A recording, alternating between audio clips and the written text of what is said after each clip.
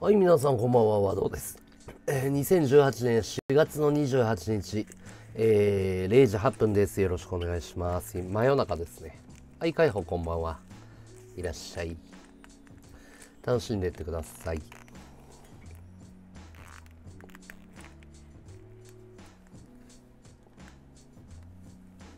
はい、こんばんは。ワードツー。ナンさんいらっしゃい。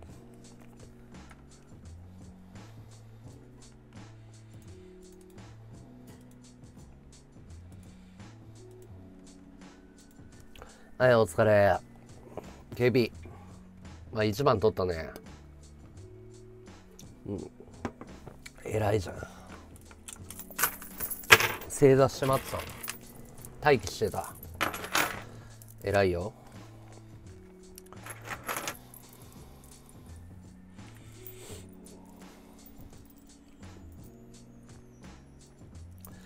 いや、疲れたなお疲れ。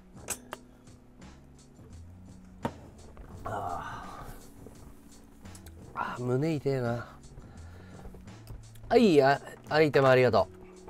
アイテムありがとう、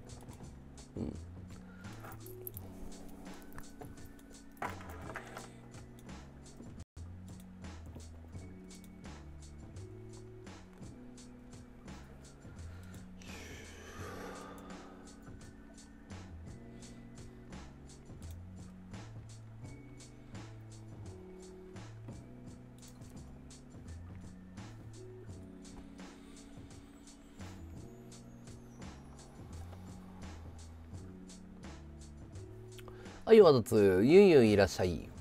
お疲れ。お疲れっす。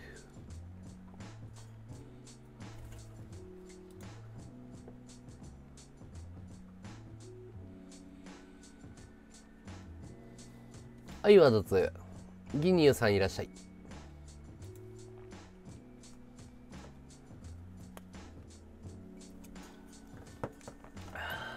動の後はタバコうまいね。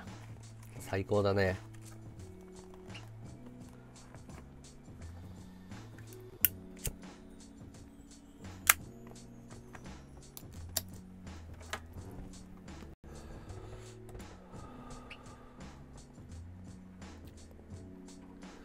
はいマチルダお疲れ。バカありがとう。アイテムありがとう。撮影の写真のクオリティは高かった？あれかっこいいよね。すげえかっこいいと思うわ。あれはすごいよね。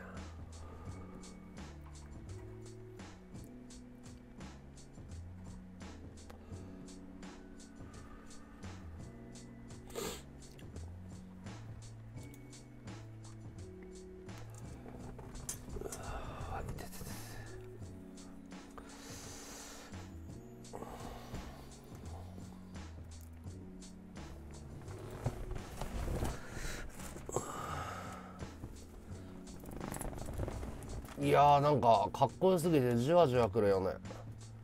100円見つけたやつもかっこよかった。痛い。体中痛い。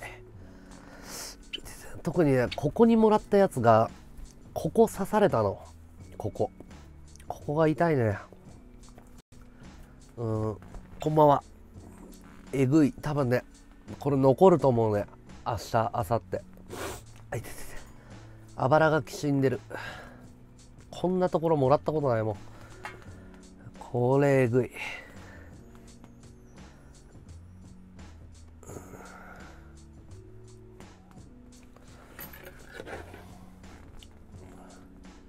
ジムね今日ねあの便所太郎さんの川越のあの捨て頃の最後の練習会でリア凸 OK で。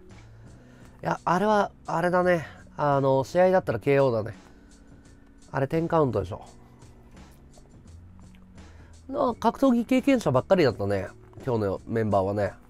達彦でしょ？ゴルゴさんでしょ？えっ、ー、とマーさんでしょ？胸筋さんでしょ？この人たち本格的になんもう10年近くやってる人たちでしょ？達彦は25センチ価格でしょ？ゴルゴさんはもう何何十年もやってて黒帯とかでしょ？でもう何でもやってる人でしょ？胸筋さん MMA でしょ？で柔術のねもうやってるし。マーさんっていう人は格闘家でしょあれ。ガチ勢が集まってたね。ジムはスパーリング禁止だもん。やってないよ。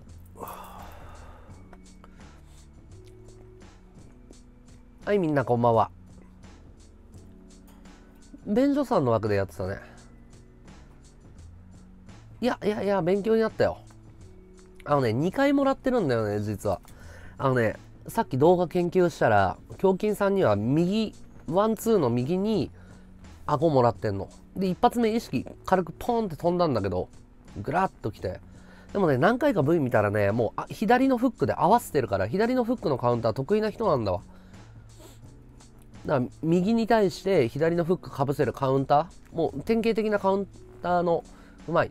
で右フックに対してあのここの空いたここに左フックが刺さってグッて入って肺が止まった感じがした右の肺がうって。あああれは本気で振り抜かれてたら折れてるでしょ超痛い今。ここにもらったの初めてだもん。この脇腹。痛い。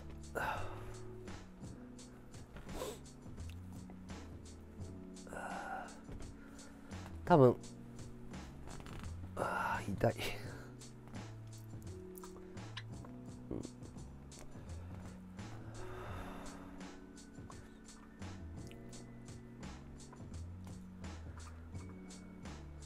パンチがコンパクトで速いからあれだね。あれはもう耐えるしかないんだけど。耐えらんなかったわ。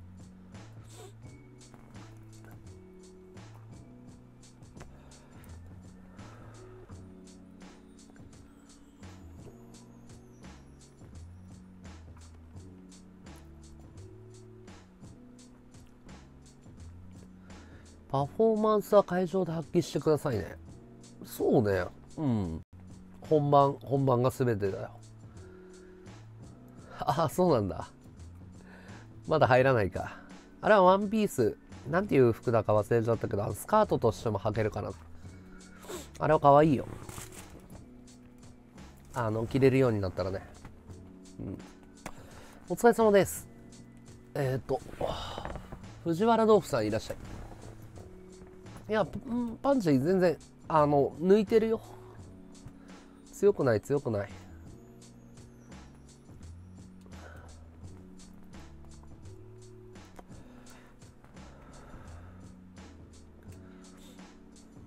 握り込んでない触ってるだけだから。あー脇腹えぐいなこれ23日取れねえぞ。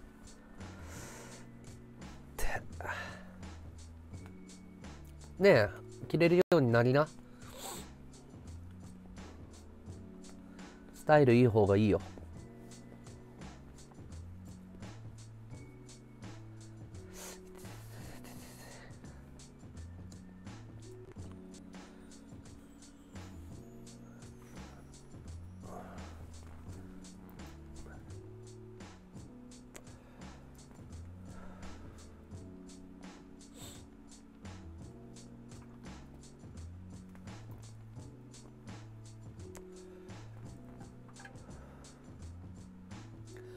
おい、ありがとう、ブリン。ハートありがとう。お疲れ。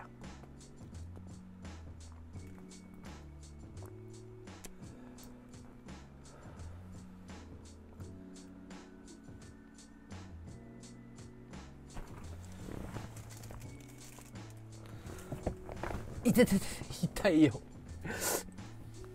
で、頭もガンガンするしさ。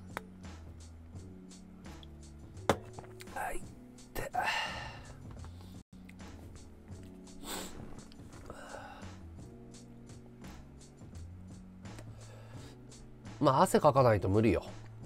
はいちびたさんいらっしゃい。渡辺さんお疲れっす。バカありがとう。3ヶ月歩いたらまあ3ヶ月30分歩いたら全然痩せるよ。汗をかくことねとにかく。お疲れ。いやいや今日はねあのダメだね。いててて下がり癖がついてたから前に出る癖がなかったかあの練習の成果出てなかったよ。下がり癖がついてたから。あの一回気持ちが切れちゃってるね。ちゃんと気合入れて練習しないと。ジムもうジムには通って再開してるんだけどジムに通ってないのとあとそのポチエムの試合からもうずっとやってないから気持ちが一回切れてていいいい刺激になった。いや折れてはいないと思うんだけどきしんでるね。痛いね。うん、ああ負けたんだ。うん。20分じゃ足りない。3 4 0分がベスト。3 4 0分。20分は少ないね。でもまあ偉いじゃん。毎日やってるんだから。偉いよ。継続ね。30分40分は40分やったらもう大丈夫だよ。あまあまあ初めの頃よりはフォームは綺麗になってると思うね。確かに。そうだよね。亀尾さんは去年の動き知ってるもんね。去年の捨て頃前の動きね。そりゃそうでしょ。もう1年やってるしジムも通ってるしドレさんが教えてくれてるから。達彦もずっと教えてくれてるし。フォームは綺麗になってると思うけどまあでもガチ勢にはやっぱ歯が立たないよね。うん。まあ、全然全然いいいい刺激にはなってるね。っていうか課題がやっぱり前に出ないとダメだから頭振って頭振ってってやらなかったから逆にそのなんつうのジャブでその距離取る戦い方しちゃったから自分らしくない戦い方。痛い痛いごめんね。痛い痛い痛い。ごめん。ありがとうございます。それ本当に痛いんだって、うん、褒めるのは大事よ。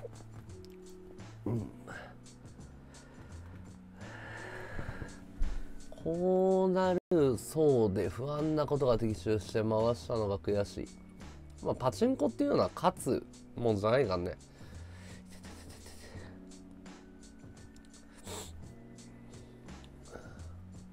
あ、これやばいな。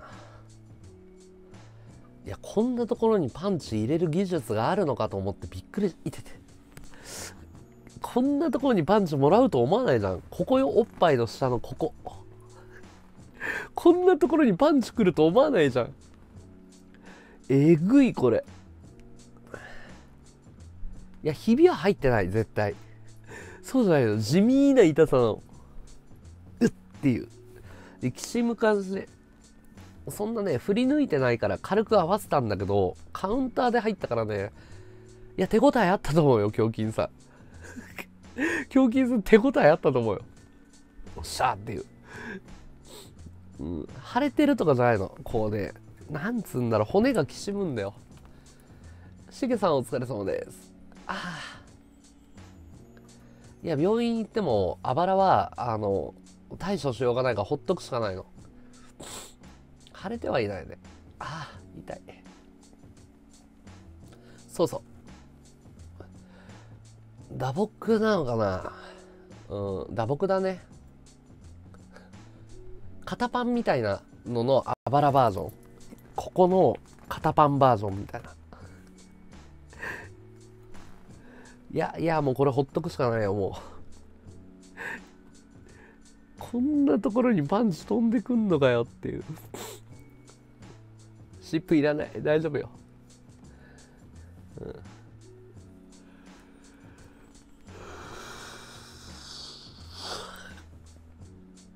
サロンパスはないけど、あの、塗るサロンパスあるから。今日塗っとくよ。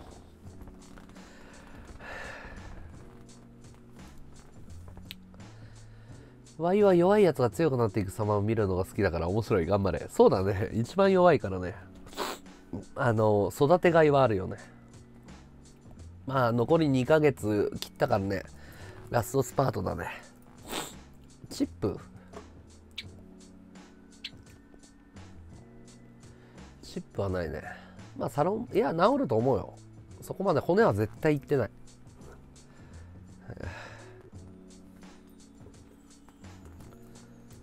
和道が一番伸びる。うん、だから、ドルさん嘘ついてないよ。一番弱いやつが一番伸び率があるっていうだけだ。うん。だから伸びてこの状態だからね。ガチ勢にボコられる。そんな、何年もやってる上手い人にさ、勝てるわけねえんだから。風船ありがとう。湿布湿布はない。あ、まー、あ、さんどうもどうも。聞きました。聞きましたまー、あ、さん強すぎ。ガチ勢強すぎ。あの最後に あの思いっきり顔面ボーンって入 入れた人まー、さんねこの人。お疲れ様です。ありがとうございました。この人ね強すぎ。あの後で話聞いたらあの人ガチ勢っすよっつって。達彦にいろいろ聞いた。ああれあのガチ勢ですっつって。勝てるわけないっすって言って。グラグラしたもん。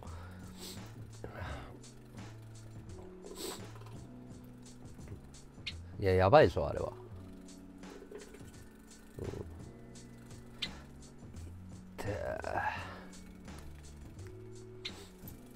うん、なんかまーさんが通ってるジムがバッチバチにスパーリングしてもう失神したらバケツに水かけてやるぐらいハードなジムで通ってる人なんだって。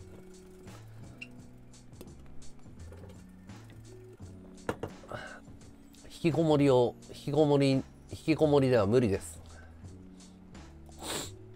勉強になりました。達彦もだって地下格闘技も25戦ぐらい出てるからね。達彦は強いよ。出会った頃からずっと強いよ。うん。いやいやだからあのちゃんとやってる人にはあの無理よ。素人がコメント書いてて俺は強いとか喧嘩強いとか言ってるのに勝てないからね。戸塚ヨットスクールみたいな事務所、うん、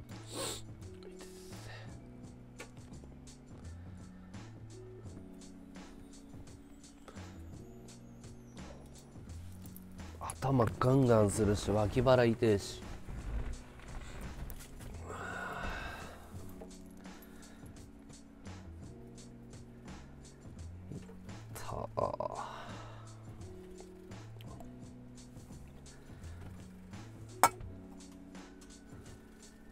達彦さんにやってもらった。ああね。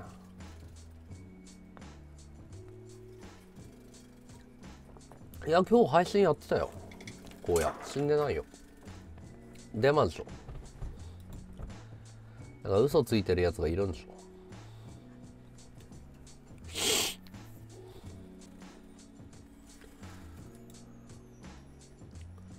胸板ドーンって感じだな。広背筋がでかいよね。背中がでかい。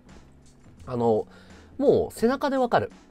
本当に格闘技やってる人はここなんて言うんだっけな。硬い三頭筋はえっ、ー、と太ふくらはぎか。ここなんつうんだっけな。背中の筋肉がこう逆算なんだよね、うん、ヒットマッスルって言ってそのパンチを打つ時の筋肉背中だから背中がねこう逆算なの、うん、だから胸板よりも背中を見ると分かるよ。あこの人喧嘩売ったらダメだっていう背中を見る。ねえ楽しいよね。ボクシングジム通えば解放。胸の筋肉じゃない。あのパンチは背中の筋肉。だから筋肉痛になるのは背中なの。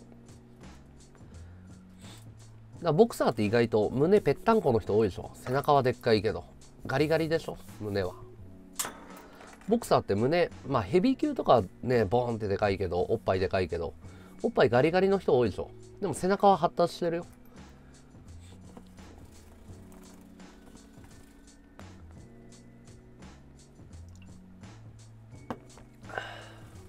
うん、背中は筋肉痛になる、視力悪いんだよね。視力めちゃめちゃ悪いけどもう勘で避けるしかない。便所太郎さんの配信ずっと見てた。あありがとうね渡辺。あありがとう。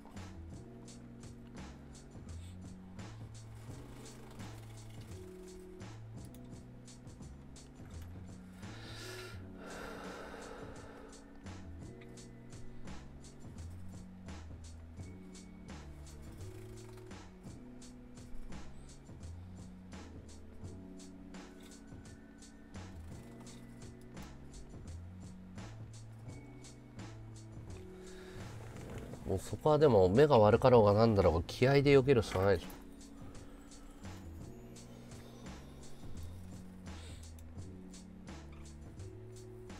いやあそこで囲い込めを打たないとアンチコメがのさぼるだけだよ。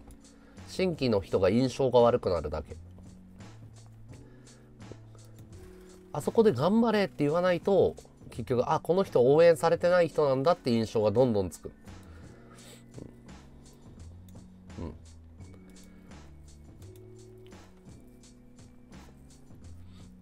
アンチばっかりの人っていう印象がついちゃう。まあ俺はどっちでもいいけど。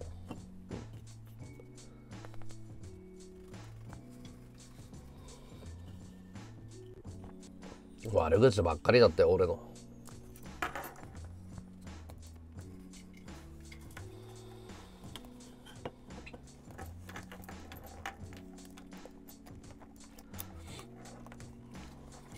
あ頑張ってって書いたらいいことだね、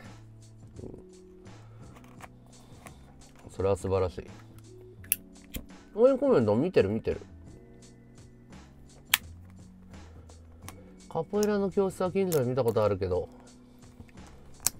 カポエラは特殊だからな。ダンスに近いからな格闘技っていうよりも。あれはもともと囚人がやってた。ダンダンスに見せかけた格闘技だからね。蹴り技だね。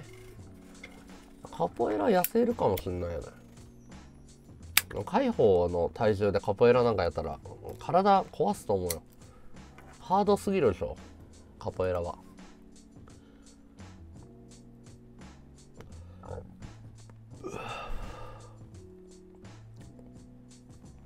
あブレイクダンスの起源なんだ。ああり得るかもね。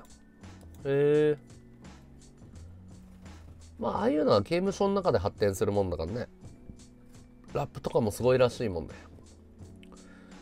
よ和道さん教えてくれないってどういうこと？え？教えてくれない？何を？主主語がないと分かんないよ渡辺さん。な何を？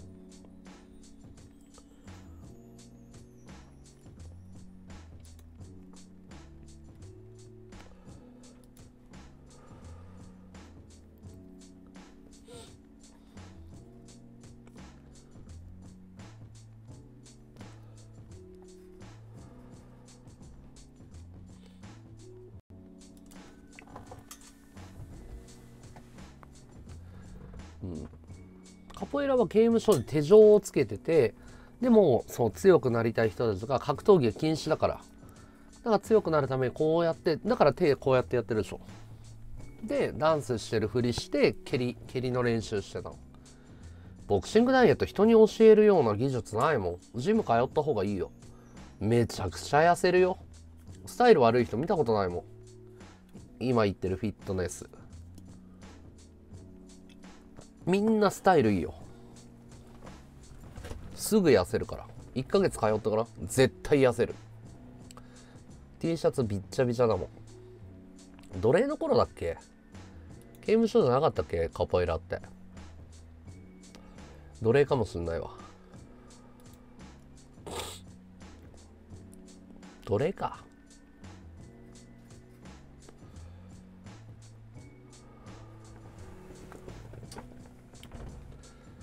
気持ちも強くなれるっていうかやっぱり体が強くなっていったら技術が上がっていくから強くなっていくからうん例えば捨て頃ワンの時うなされてたんだよ怖い夢見てとかあんまりなくなったかな。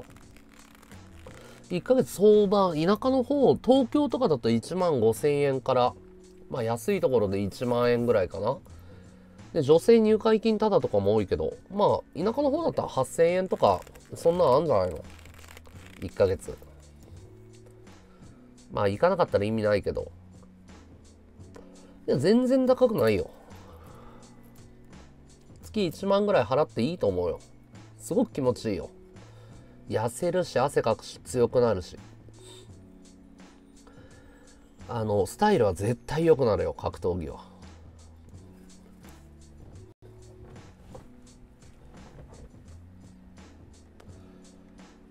超おすすめだね。スパーリングさえしなければあの脳がやられることはないから。フィットネスの運動量としてはボクシングってトップクラスに運動量が多いから。めちゃくちゃ痩せるよ。みんなだって T シャツびっちゃびちゃだもん。1時間やるだけで。もう2時間やったら絞れるよ。腰は強くなるだろうね。うん。なると思うよ。あのなんでかっていうと土台？足腰がボクシングって意外と上半身じゃなくて下半身のスポーツだから。で腰の回転で打つから、まあ、強くなるだろうね。腹筋とかもやるし。ボディ打たせないために。だから太ももとかもむっちりこう発達して。足が細くなって太ももボンってむっちりしてお尻がキュッと上がってくびれて。まああのなんか西洋人のボンキュッボンって感じだ。まさに。ボンキュッボンになるよ。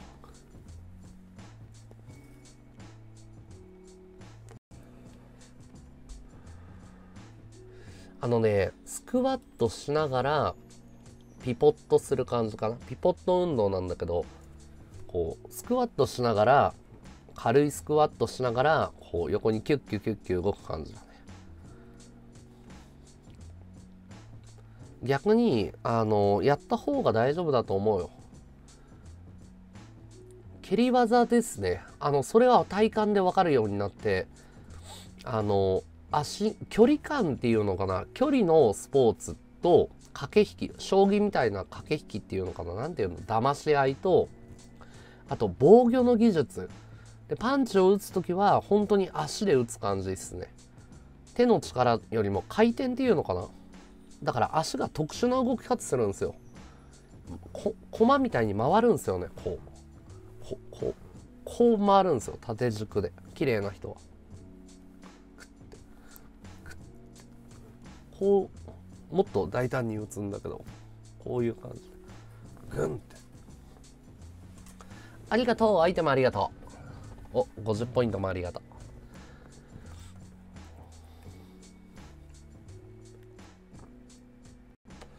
う。蹴り技は言い過ぎだろうけどなんか足腰のスポーツですね。痩せてないよ。体重ねもうとんでもなく増やしてます。今75キロ。75キロだからえっ、ー、と何キロ増えたかな？8キロぐらい増やしたかな、ねえありがとうブリンアイテムありがとう。体重はかなり増量しました。あ便所さんありがとうございました。勉強になりました。胸筋さんとマーさん強すぎるんですけど。めちゃめちゃ痛いです。あのガチ勢ガチ勢強すぎるんですけど。便所さん。マーさんと胸筋さんはあれはダメ。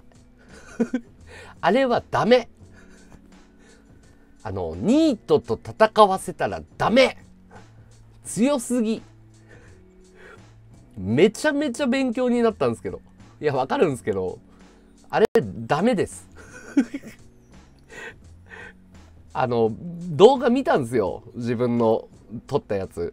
あの、もう完全に左フックのカウンターでえぐられてます。あと、まーさんの意識飛んだっす。あ、でも、えっ、ー、とね、胸筋さんの、何だったかなあれ、左のフックのカウンターかな？あれ、初めてですね、あの、ぐらーって、あれって、あの、ダウンしなかったですけど、ぐらーってなりましたね。時間止まってますね、完全に。あれを、あれはすごい経験したね。あ、これ、あ、本人は動いてるつもりなんですよ。だけど、ふわーってなってますね。あれ、あれ、周りから見たらあんな感じになるんですね。よく、こう、前のめに倒れていくじゃないですか。ああ、みたいな。俺動いてるつもりだったんですよ。時間完全に止まってましたもんね。うん、あれはすごい経験でしたね。綺麗に入ってますもんね。胸筋さんの左フック。いや楽しかったっすね。でもあれは強すぎ。見てみたいいいよ。見る。あるよ。ちょっと待って。えー、っと。ちょってね用意するから。見えるかな完全にホワイトアウトしてるもんな。これで見えるかな。えー、っと。こ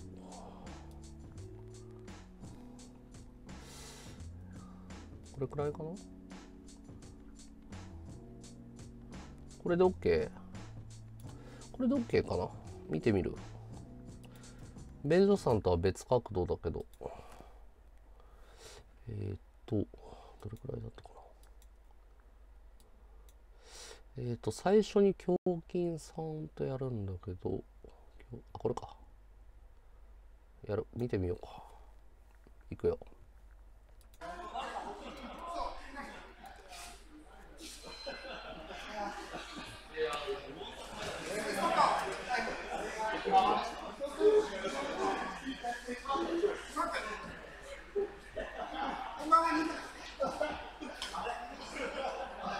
下がり癖直さないとダメだな。前に出ないと負けるね。今日のリスナーさん、リア凸 OK だよ。たくさん来てたよ。リスナーさんも配信者もリア凸 OK だったよ。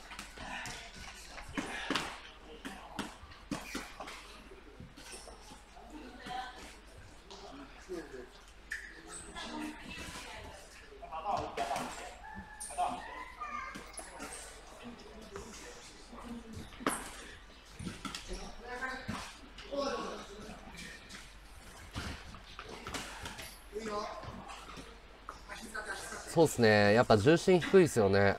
足腰、足腰入ってますよね。膝、膝をもっと柔らかく使わないと。スタンスが狭い。うん。綺麗ですね、フォーム。やっぱ。これ痛かったな左フックなんだよな、やっぱ。胸筋先左フックでカウンター狙って。これはうまく入ったね。ワンツーでうまく入った。これもうまく入ったね、うん、いやヒットアンダーウェイ俺向いてないからダメなんだよね。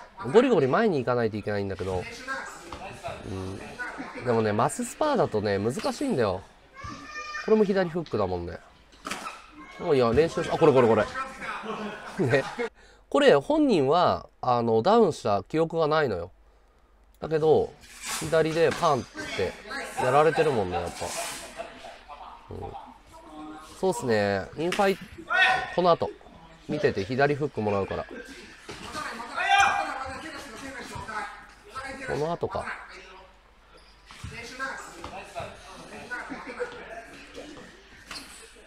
これじゃない。これじゃなくてこの後。これ。ほら。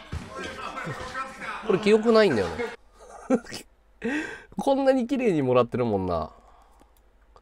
おこれは、早すぎるよね。うん。うん。ほら。これ記憶ないんだよ。あれ？って。何やってんだ？って。ぐらーっといくもんね。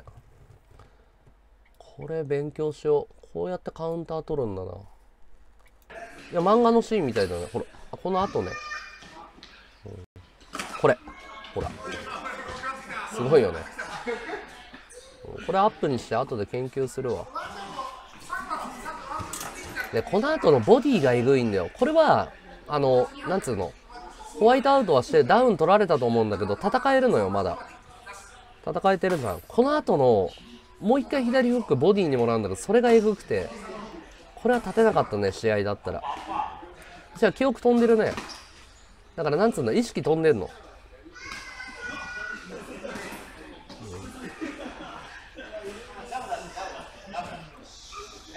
右右のブローにね左左じゃあ右フックに左フック合わされるんだよね、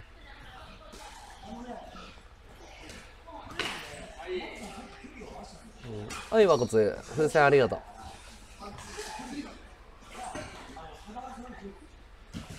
インファイトしないとダメだねやっぱこの後いくよこの後右フックだこれ これえぐかった。これ。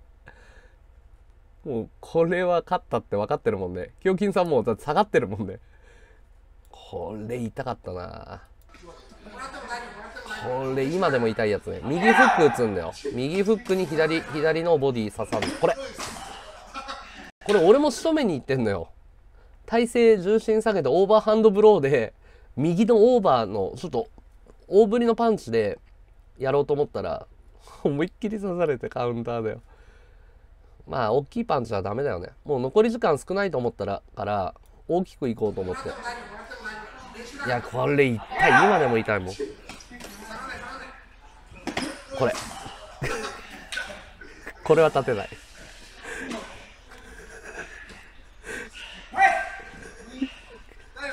これは心なえた。痛い痛い痛い。今でも痛い。こんな感じかな、うん、あとペニーさんってやったのかな。ペニーさん。この人うまかったな。この人なんかチャンピオンかなんかでしょ。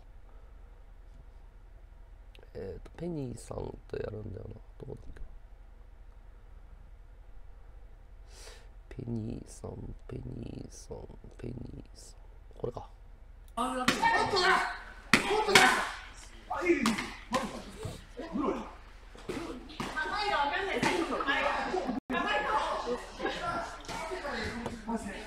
それは次の人。マーさんっていう人。あのガチ勢の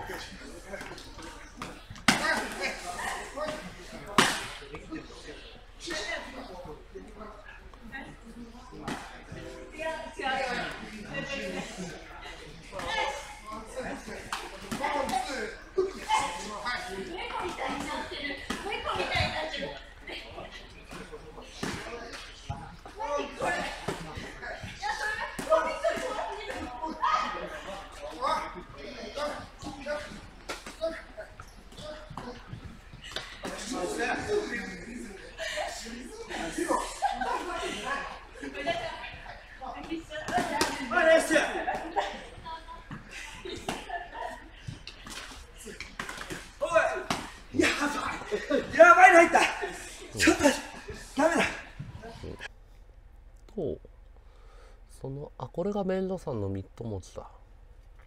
見てみようかミッド持ち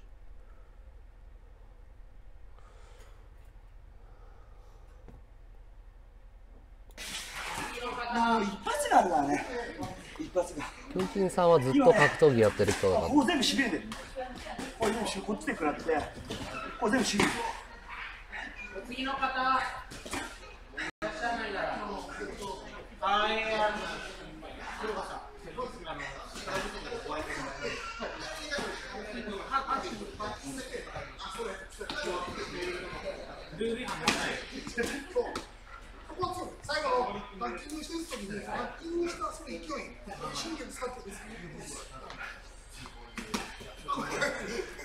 フ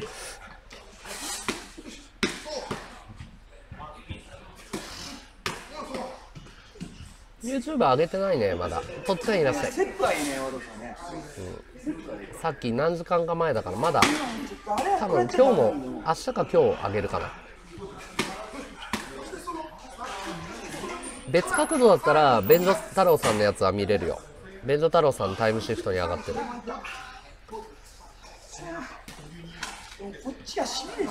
てるこ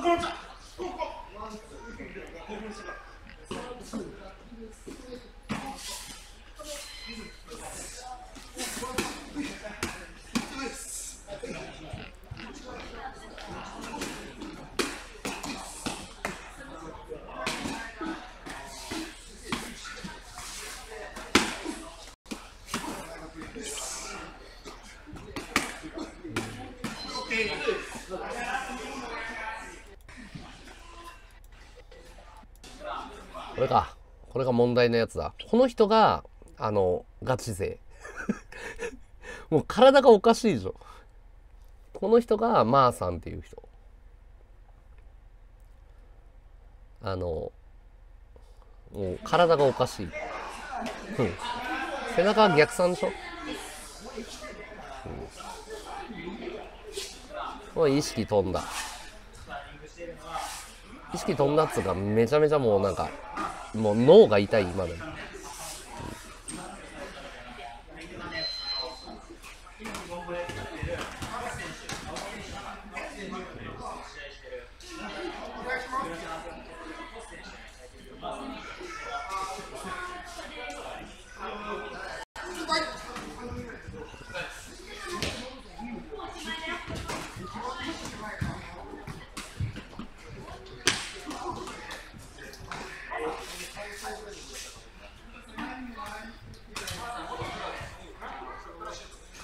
あこの人元プロなんだ。元プロだって。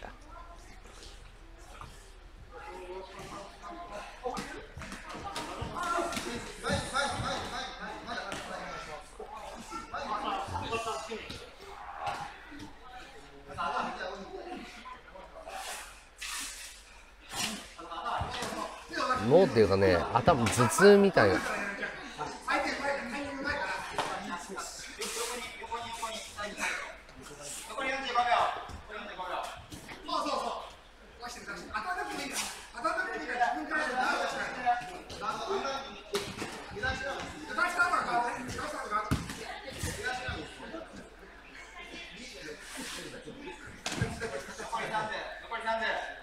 そうですね直線的っすよね。うん。え円の動きできてないですもんね、うん、うわこれこれこれこれこれ。これえぐい。ここれ。音がえぐいもんな。これ今でもいなんかボーンってもうずっと頭痛だったもん帰り、うん、卵味噌いらっしゃい、れ。これ、これえぐ。まあまあこんなことやってました今日は。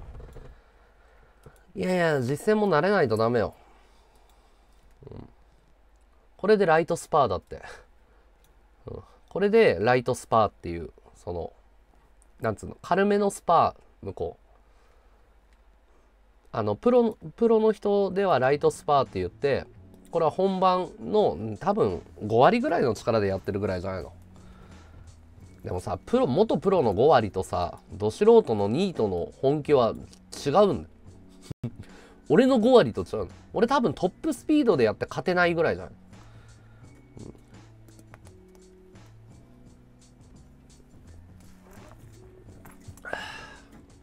はいはい。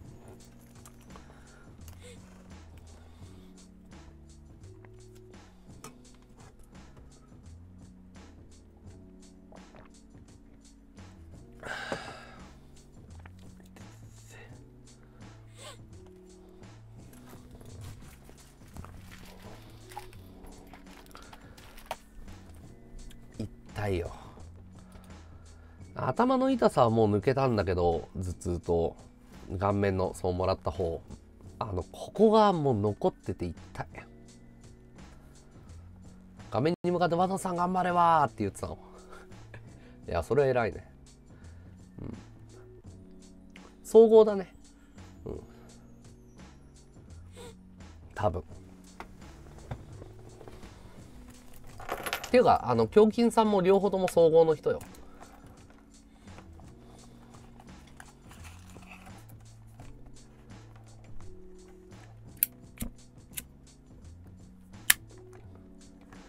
今回はだからそのピーカブの頭振るっていうそのいつもやってるやつがもう頭から完全に抜けてたから要はもうダメだねいや昔に戻っちゃってたの。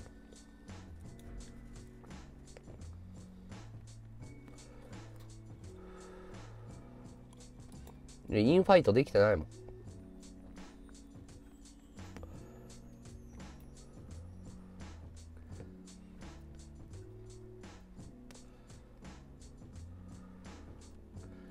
胸筋さん強かった。胸筋さんうん強かったっすね。うん。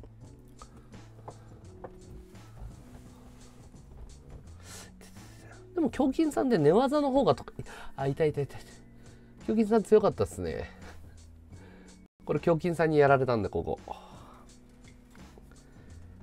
はい。2回ダウン取られましたね。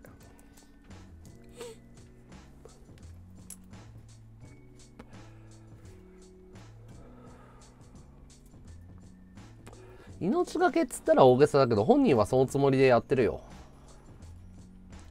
怪我は当たり前だからね。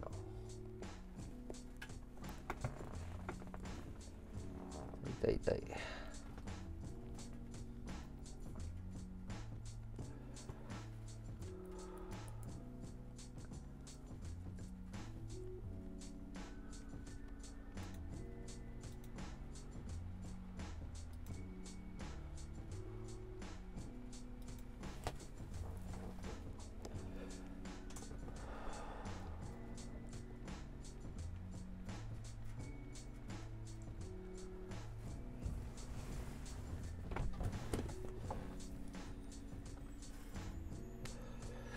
最後の人は距離の詰め方一気に来るし打ち終わりがっつり狙うしノーガードで誘うし考えながらやってるの。プロでしょ。だから。ただのプロです。はい。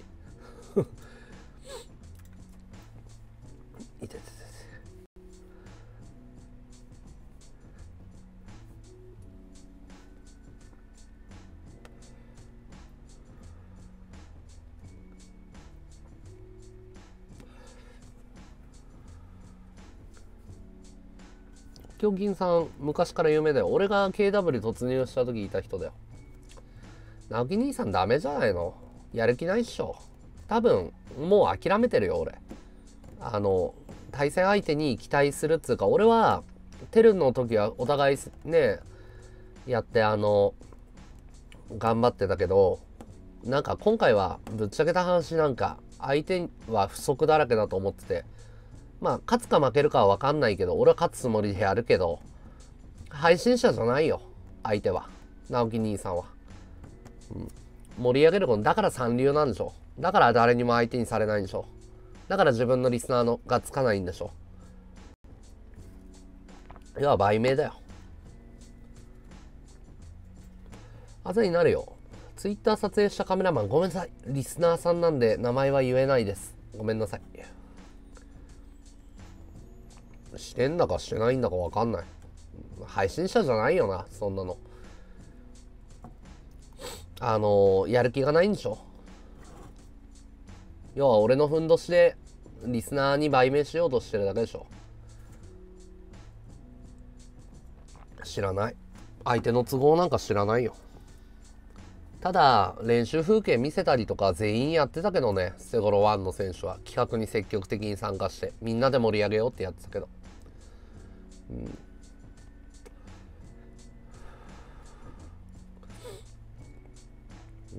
はいはい。ありがとう。アイテムありがとう。ブリンそうなんですよね。ちゃんとかがんでブロックするしないと。距離測って避けないと。そこは下手っすね。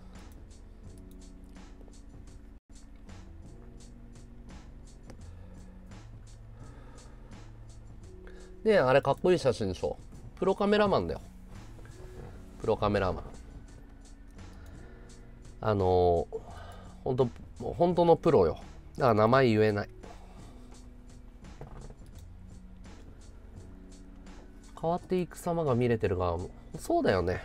そうそう。みん観客が馬主みたいなもんでしょ。リスナーさんは。こう自分の気に入った馬を走らせようってやってるのに。練習もしない公開もしない？見せなかったら配信者じゃないから、うん、捨て頃に出る資格ないあんなの。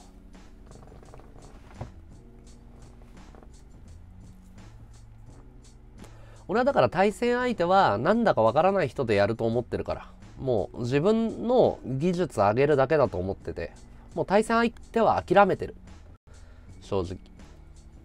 だったら俺ペニーさんとやりたかったわ。ペニーさん気合入ってるし。エンターテインメントだしリスナーは大事にするしちゃんと煽るし。まあいいんじゃないのやる気がねえやつに何言ってもダメだから。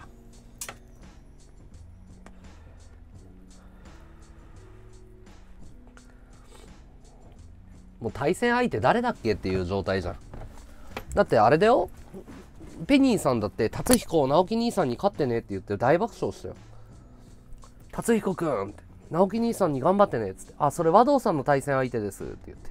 でその後に10分後にペニーさんが和道くんの対戦相手誰だっけって。それが現実だから。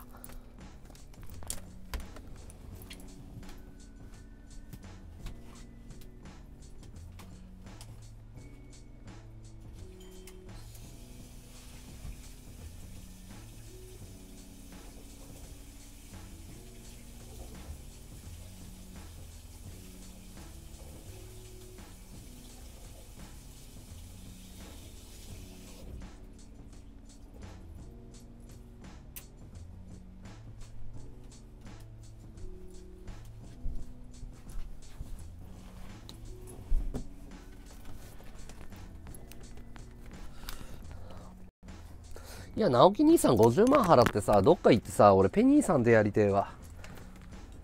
本当に。ペニーさんと試合やりてえわ。その方が100%盛り上げる自信あるわ。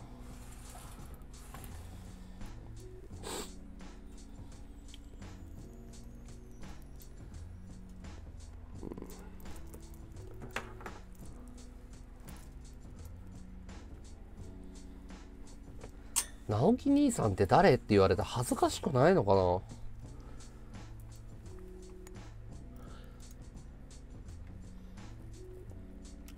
俺だったら恥ずかしくて試合出れねえけどな。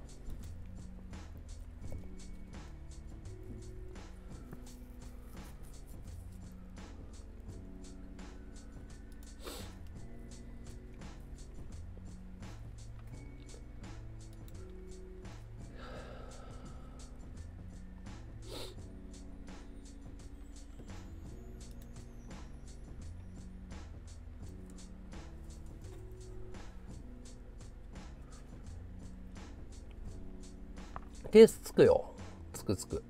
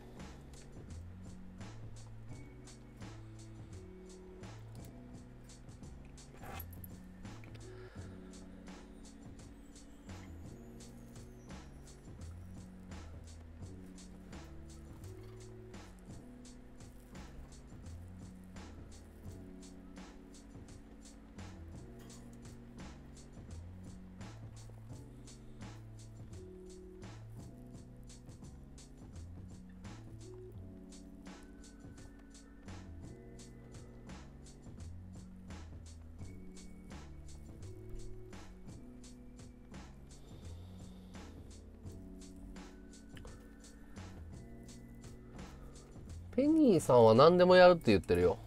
エンターテイナーだから。どんなルールでも出たいって言ってるよ。アイラはキックボクシングやってるからね。アイラは出ないんじゃないの？顔出しもしてないから。ね。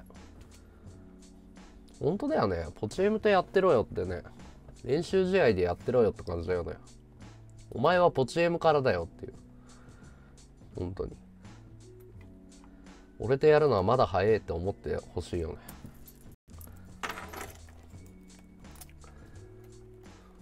お揃いのメガネ買うの？いいんじゃん。ねえペニーさん押そうぜ。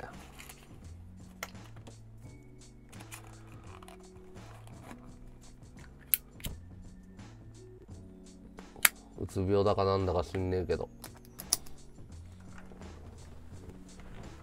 モチベーション下がるわ。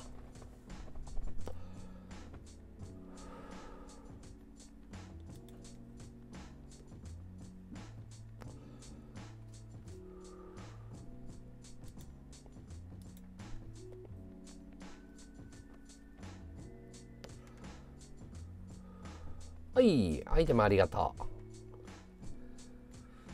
う。アイラは北海道っていうかまあ顔出しをほとんどしたことがないっていうのとコラボをしたことがないからなアイラは。ピンでずっとやってってるタイプだからイベントごと出ないと思うよ。体重は別にちょうどいいぐらいだと思うよ俺とペニーさんは。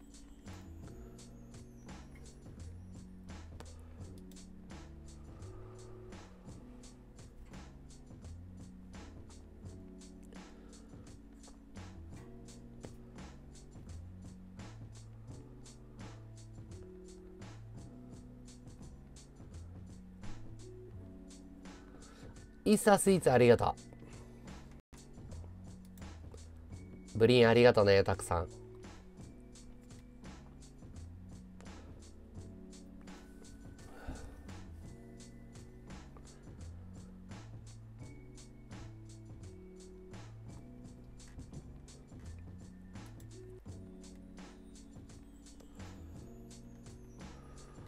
イースタースイーツありがとう。ミスターピグさん風船ありがとう。はい、じゃあ、ありがとう？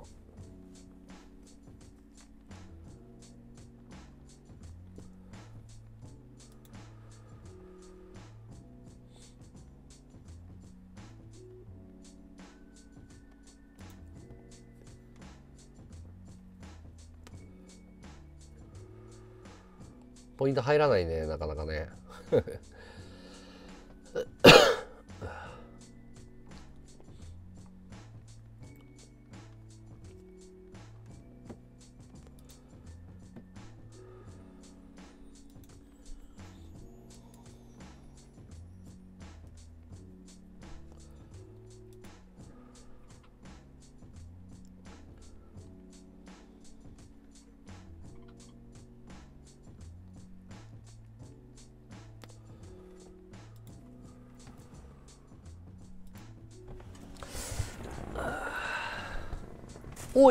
パフェありがとう。解放パフェありがとう。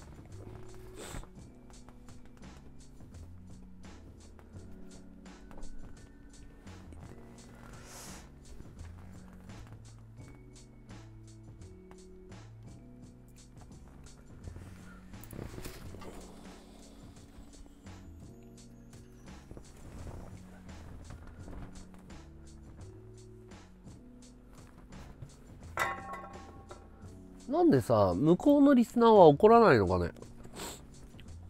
ツイキャスの。直樹リーさんリスナー。ツイキャスの人でしょ？あの人。何人見てんのか知んないけど。なんで練習とか見せろよとか言わないのかな？いいよなガキども相手に囲われてるやつらは。楽でいいよね。子供騙しときゃいいんだもんね。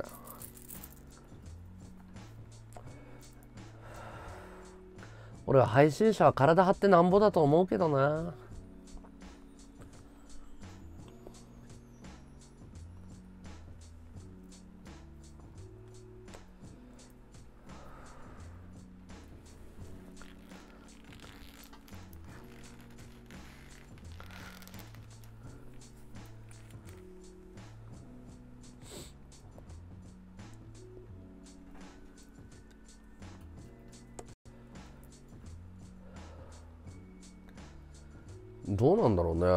いやツイキャスって子供多くない？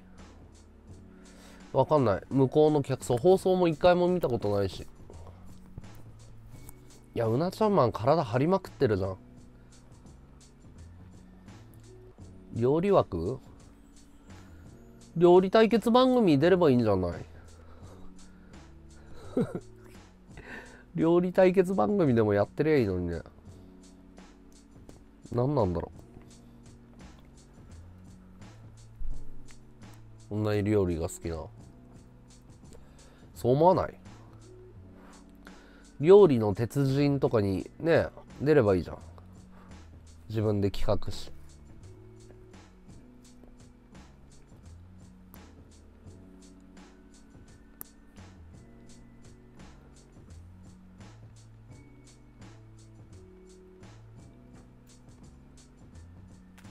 二十歳前後のキッズ多いんだツイキャス。うん。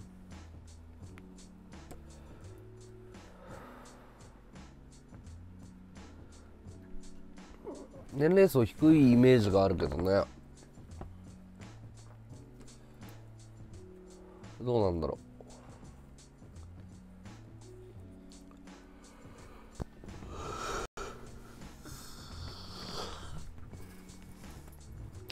あまあ主婦はねネット見るよね。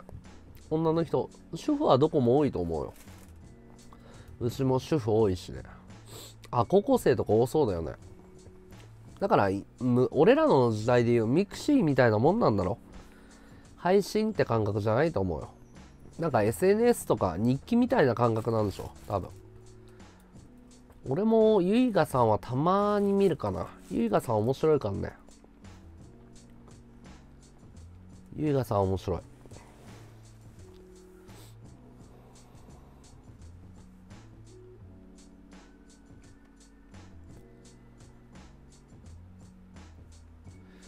ツイキャスはもともとスマホがあればどこでも見れる。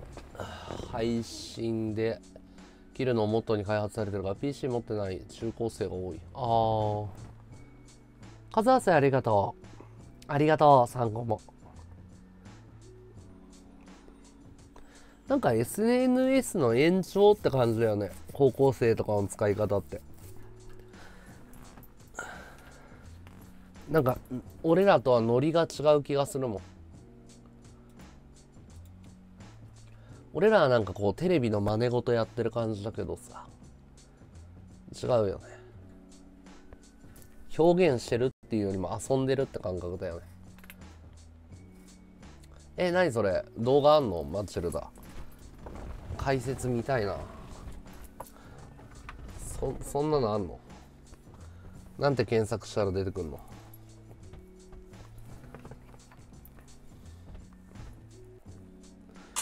ああ緊張あんましないっすね僕は。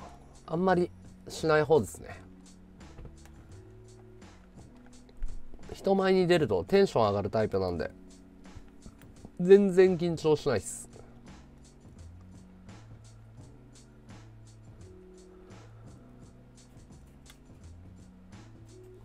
ありがとうテミー。バカありがとうワドツ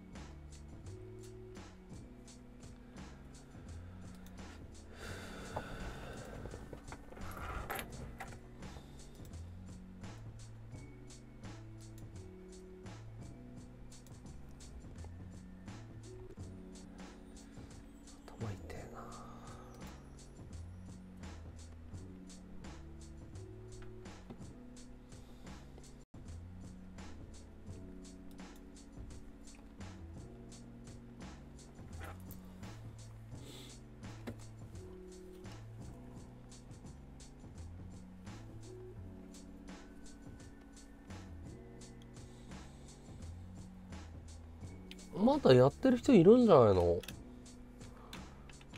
まあサービスが続いてるっていうことは。ありがとう解放。花火ありがとう。今日初花火だね。ありがとう解放。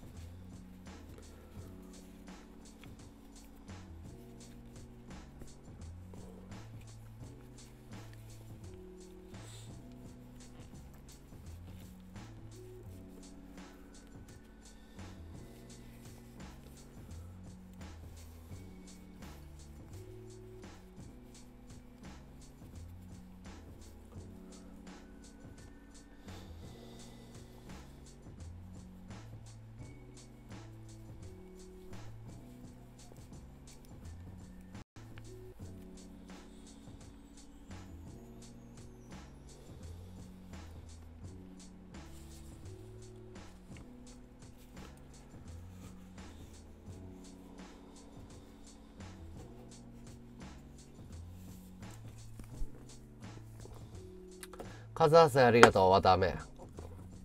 いつもありがとうね。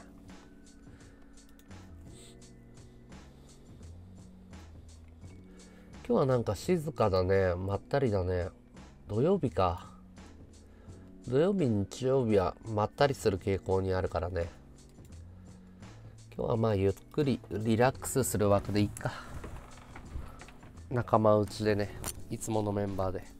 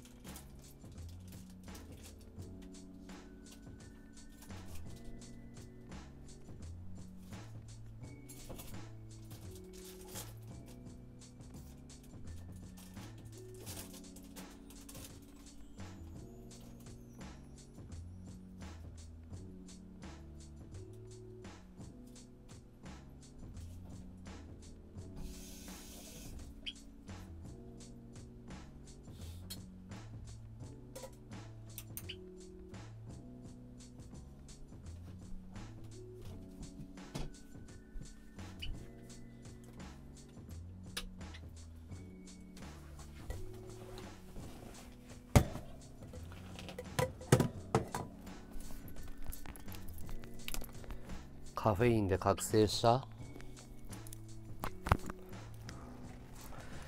カフェインカフェイン中毒になっちゃった。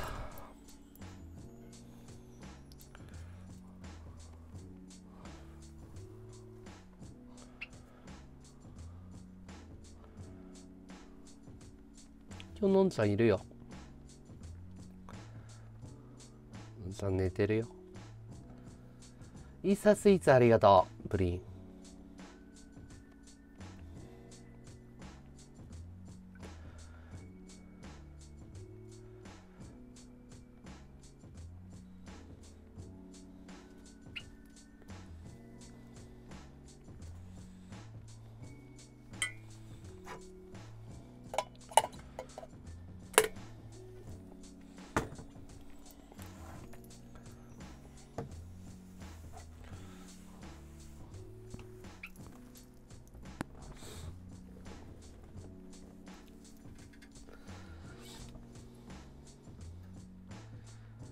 起きとってな。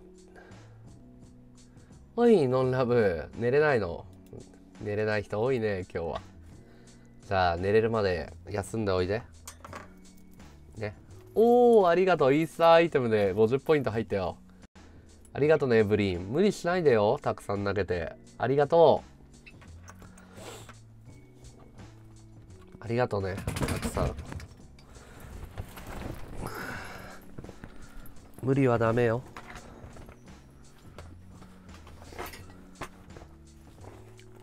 ありがとう。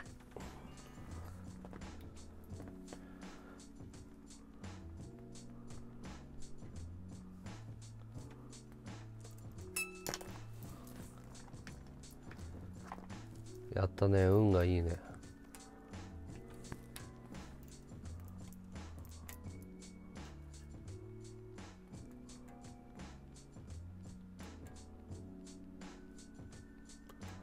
ラバー明日休み？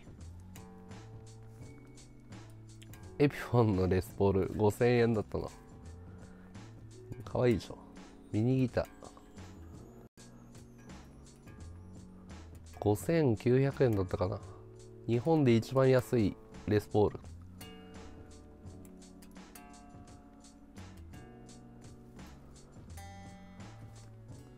休みだ。じゃあゆっくりしていきなよ。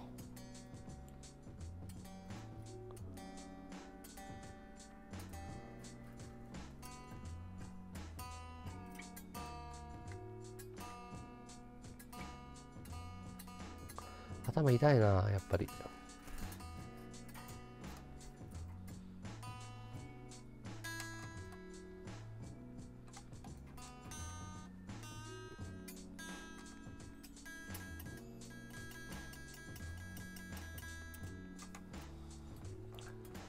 ドラムかっこよかった？ありがとう。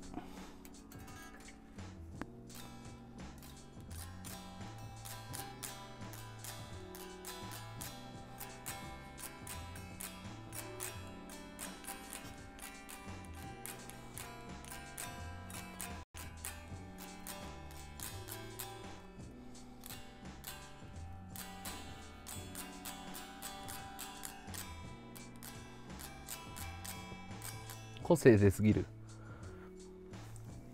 レスポールも結構癖あるギターだと思いますよ。テレキャスとかがいいんじゃないですか。癖ないんだったら。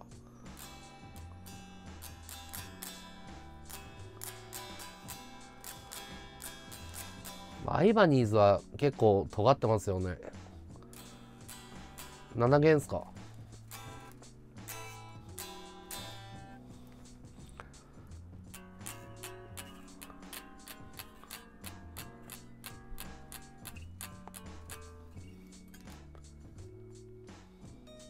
ラブユーオンリーがなんていう曲どういう曲かわかんないね。曲がわかんない。いや楽曲が届いてない。俺の手元にまだ。聞いてみる？あのワドのために作ってくれた曲。聞いてみようか。コード進行がわかんないと俺わかんないから弾けないから。歌詞一緒に考えようねみんなで。なんていう歌だったっけなちょっと待って。えー、っ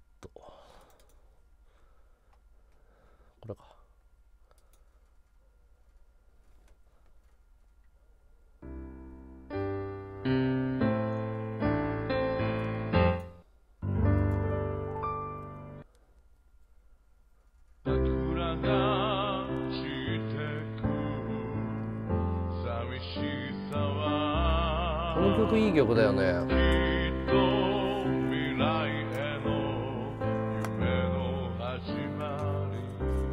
あ、タバコ切れた。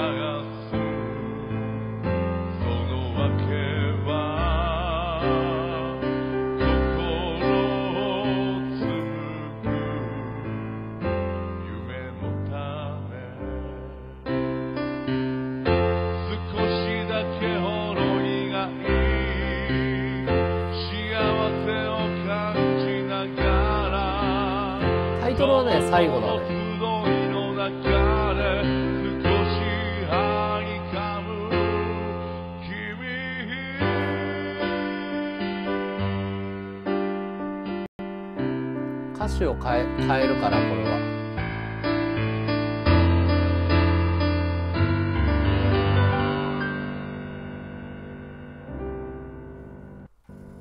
タイトルはね、歌詞と曲ができた後、最後決めるのが一番いいね。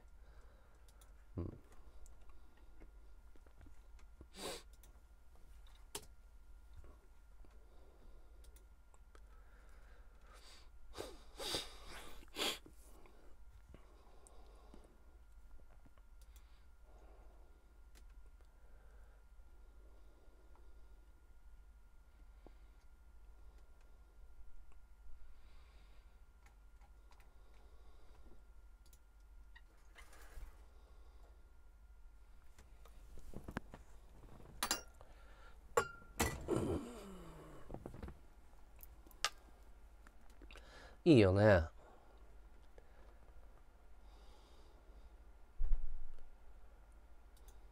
楽しいよね。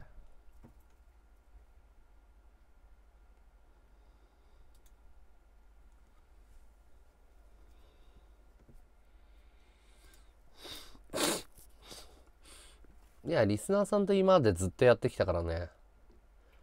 リスナーさんと一緒にやるのが楽しい。これは。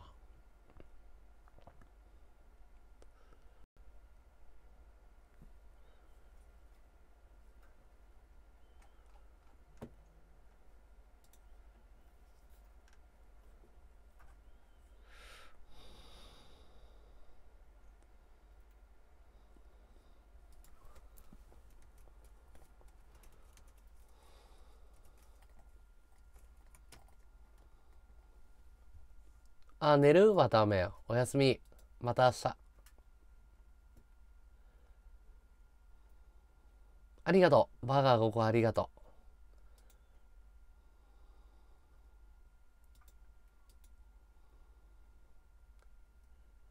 そうだよね。あの、いろんな情報を取らないとね。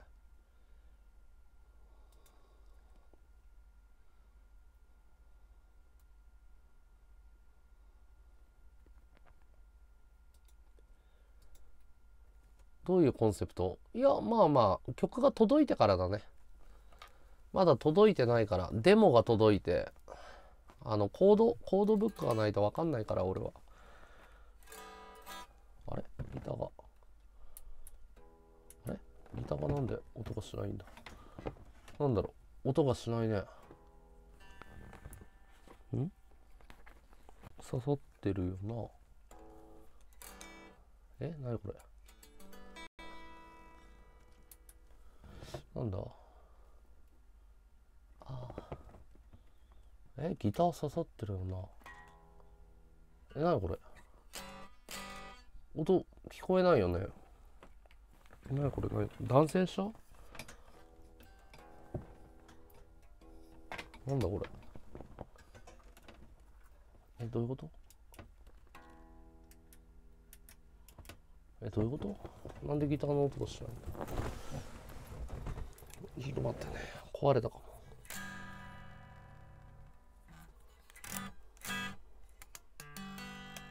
ん？なんだ？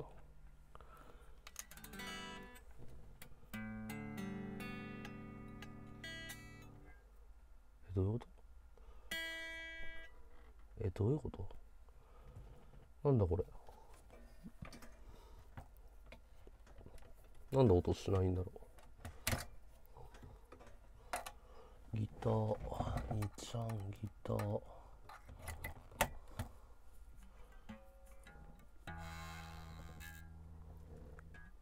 あれ？あれ？音出ないよね？聞こえないよね？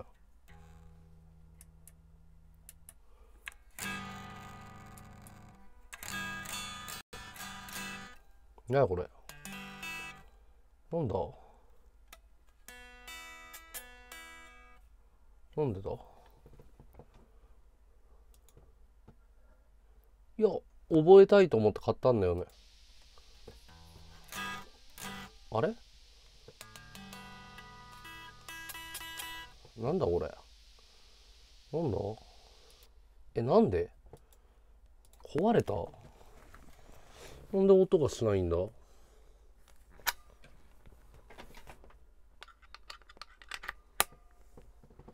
ん？どこだ？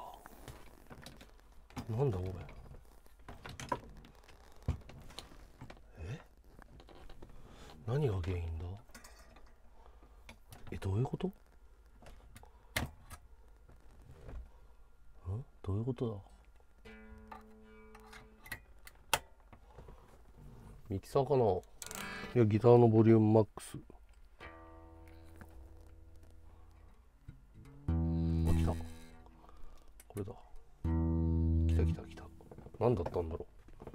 こえるよね。聞こえるよね。何だったの？何だったんだろう？よくわかんなかったよくわかんないけど治ったわ。聞こえるね。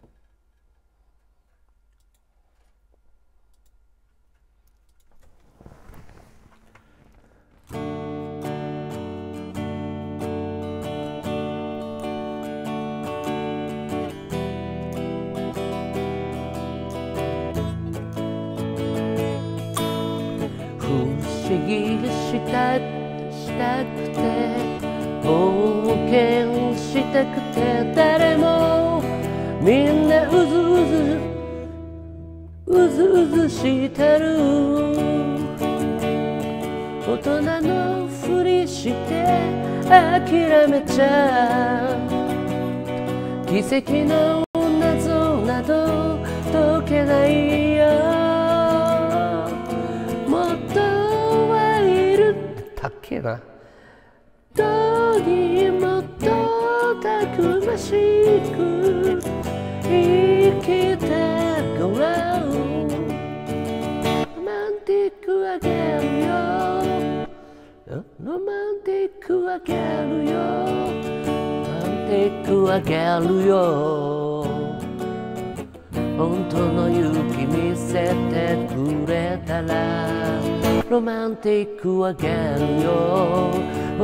take who I guess.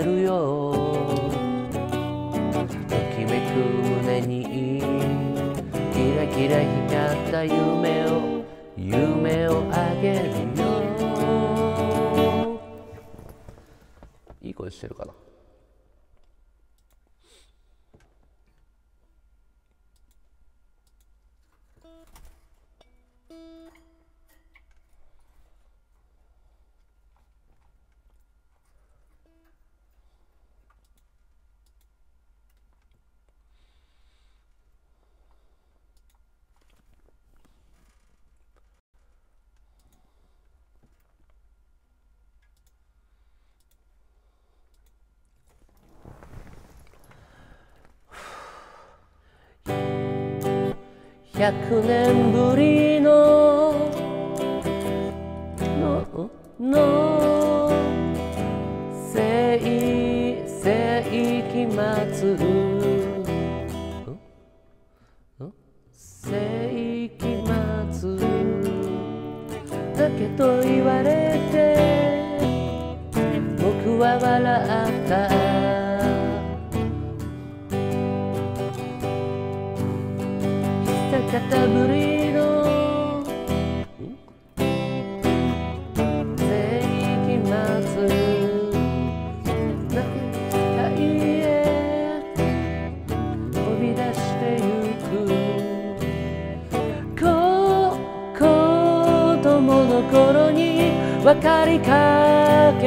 ことが大人になってわからないまま偉くもないし立派でもないわかってるのは胸のドキドキ答えでもない本当でもない。せるのは胸のドキドキ胸のドキドキだけ。これはハイローズ。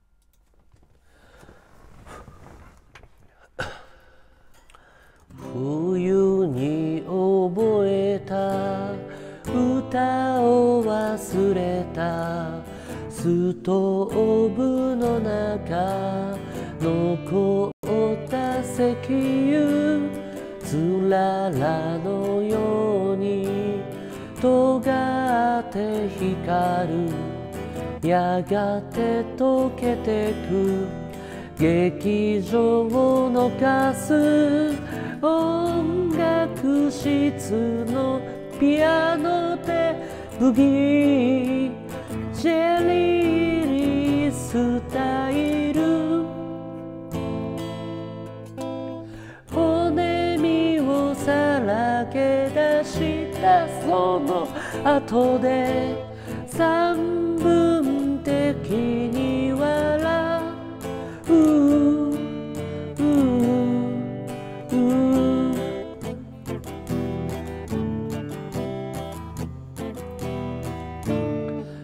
たり廊下で先輩殴る身に降る日の子払っただけだ。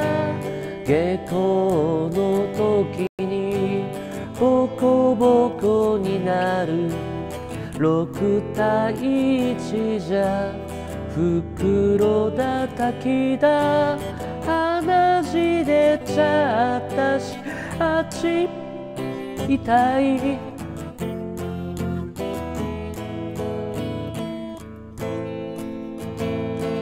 リバウンドを取りに行くあの子が高く飛んでる時にいい。心のない優しさは敗北に似てる。混沌と混乱と虚熱が俺と一緒に行く。うううう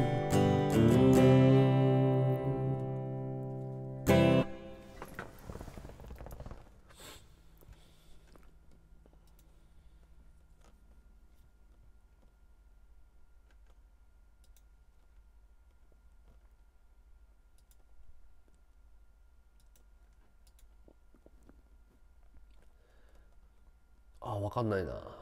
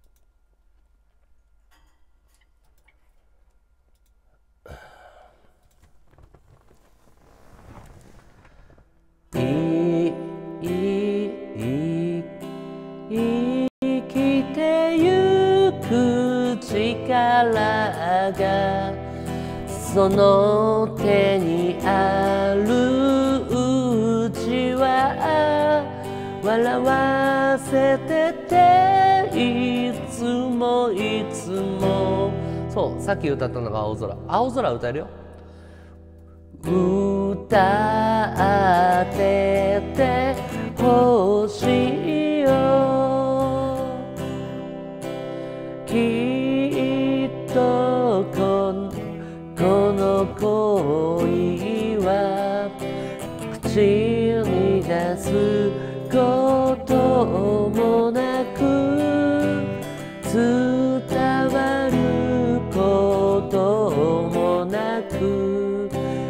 叶うともなくて終わることもないでしょう。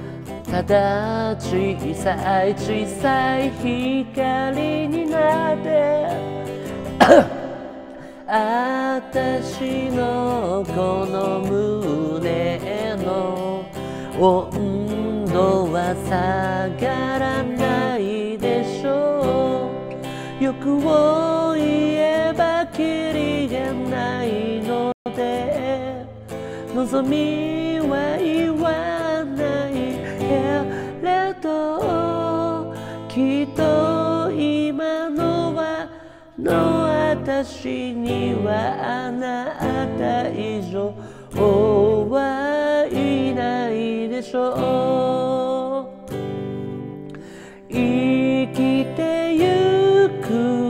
力がその手にあるうちは笑わせてていつもいつもそばに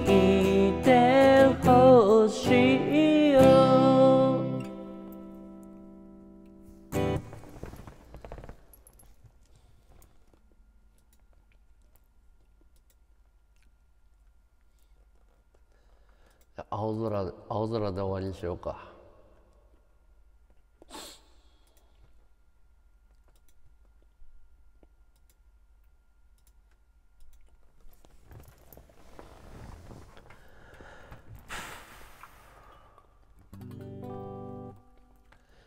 ブラブラウン管の向こう側。かっこつけた騎兵隊が。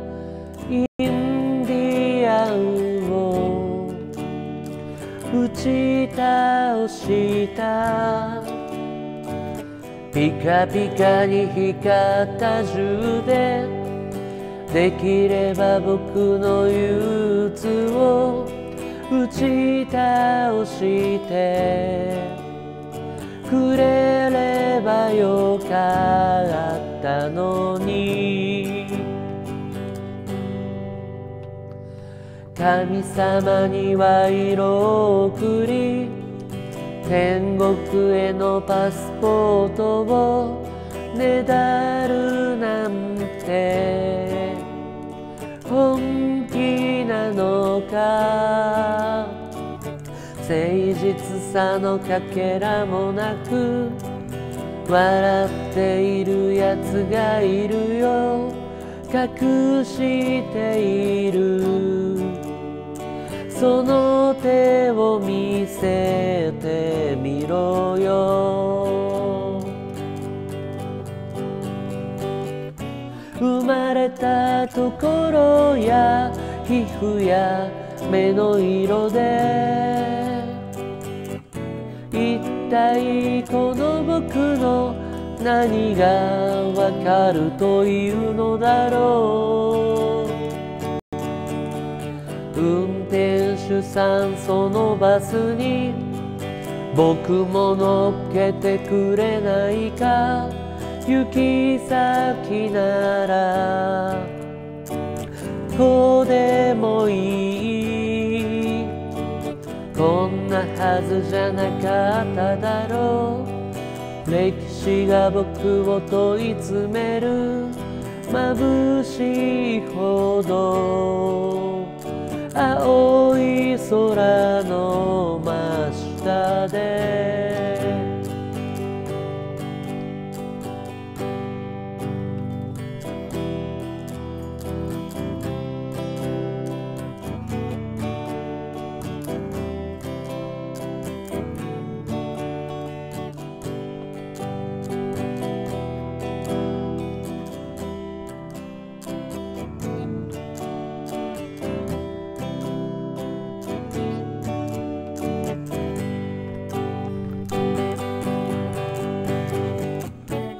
まれたところや皮膚や目の色で一体この僕の何がわかるというのだろう。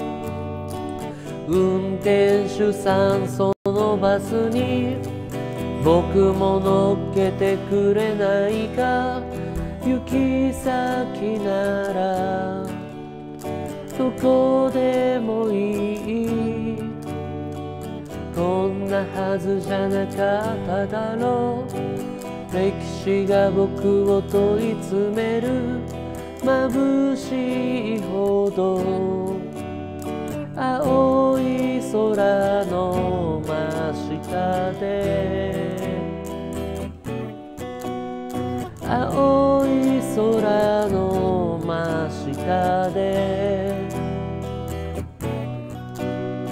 青い空の真下で。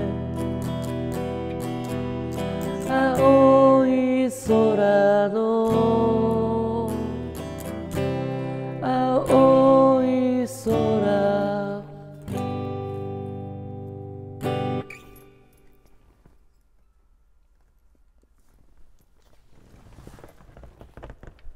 これ三輪三輪が歌ってた？三輪がわかんねえわ。いてて。痛い痛い痛い痛い痛い三輪っていう人がいるんだ。痛い痛い痛いあダメだ。ボディ痛い脇腹半端なく痛い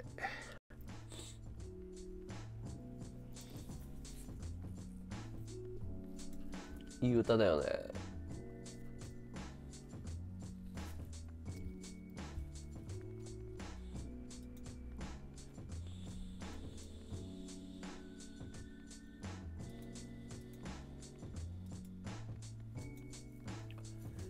やーすごいよね。おいゆいいらっしゃい。やっべえこれ。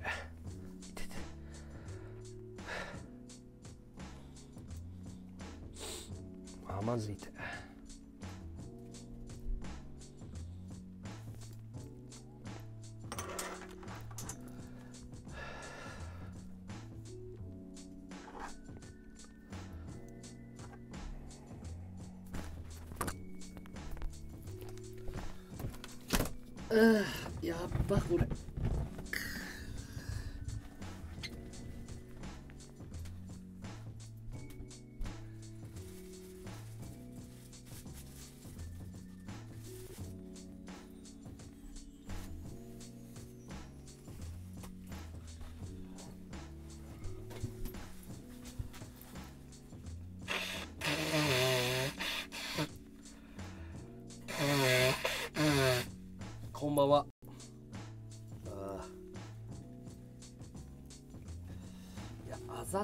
骨がきしむ。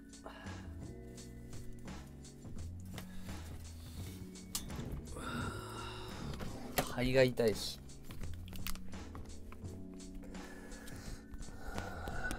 絶対折れてはないと思うんだけど。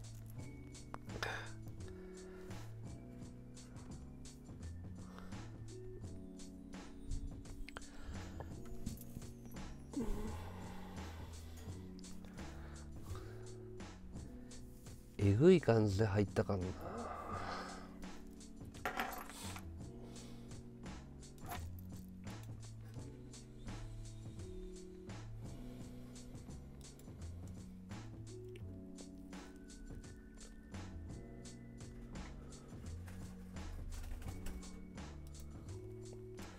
腕上げたらいい。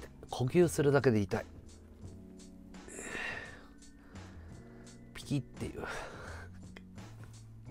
たいよ。最悪。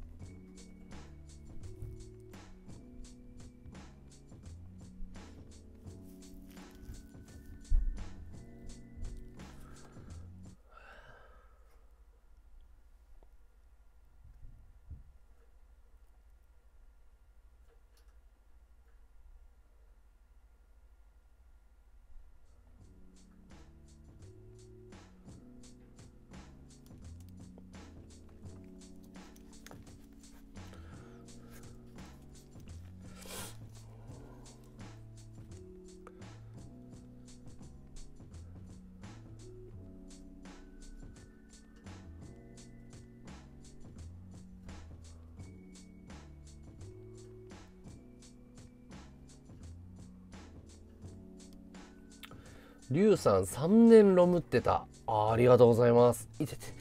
3年も本当にロムってたの？ありがとう。えー、アイテムありがとう。リュウさんありがとう。3年。すごいね。ニコ生時代からロムってたってことか。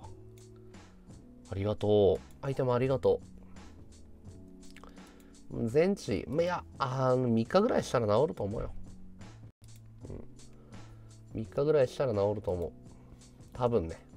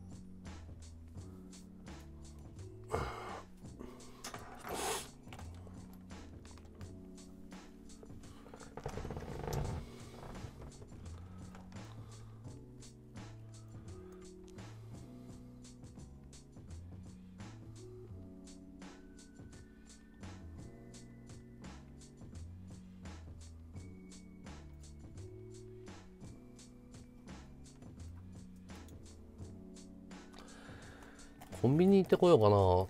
タバコをさ買ってくるの忘れた。コンビニ行ってこようかな。タバコがない。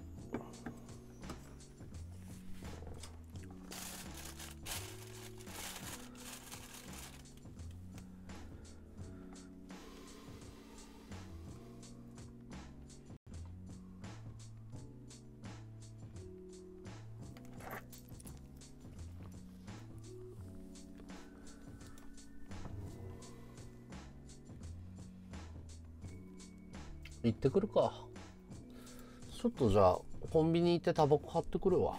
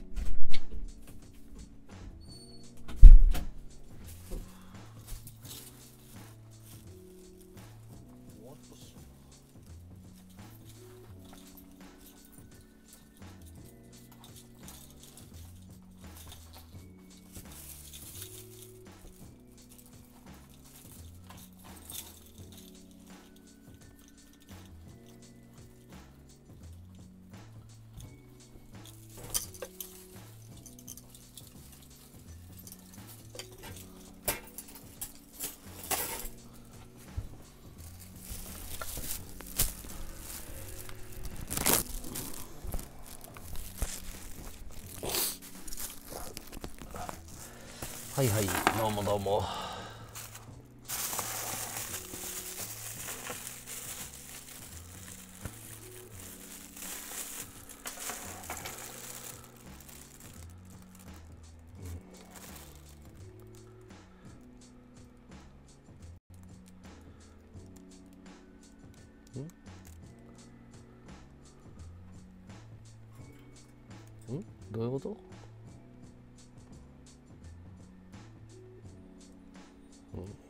ン大丈夫か？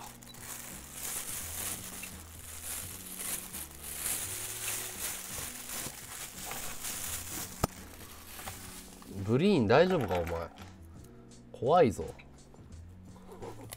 すげえ怖いスレみたいになってるじゃん俺も今把握するまで意味が分かんなかったよ。何これ？怖っ。お前は誰と会話してんだよ？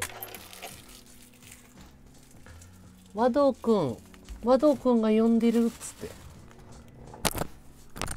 和道くんその力はまだ制御できないわ。鉄を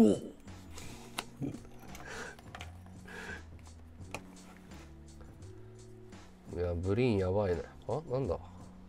なんかカメラ制御がおかしいな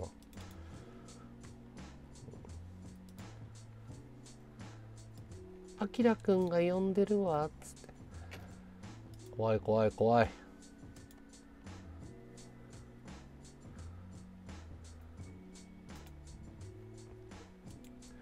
清子だかんね。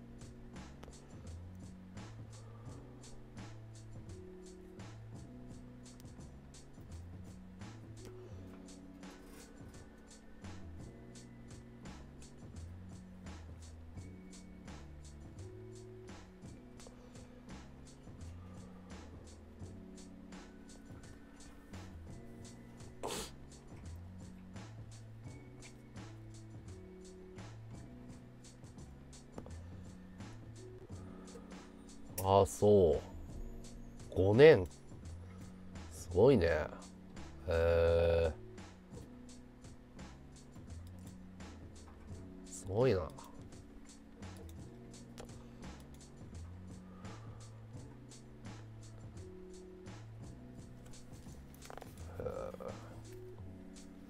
5年ってすげえな。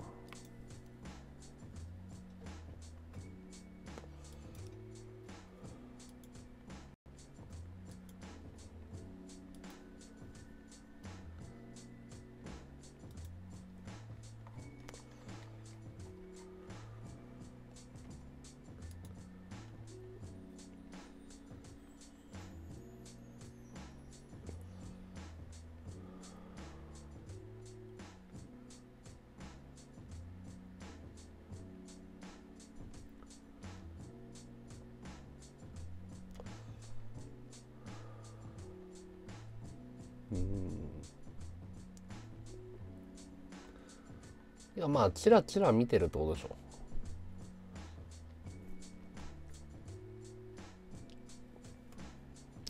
ちょいちょい見てるって感じでしょ。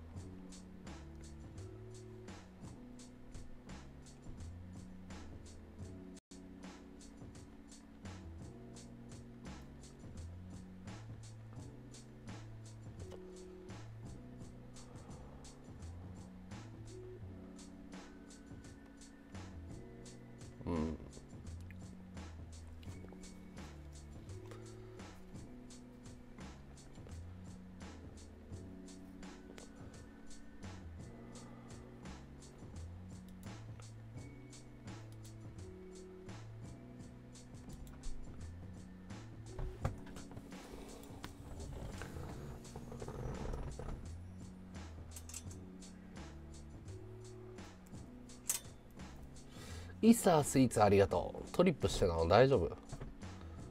うん。誰と話してなの？プリンアイテムありがとう。更新してたの？ああ1周年か。うん。もうそれくらい経つか解放と出会ってから。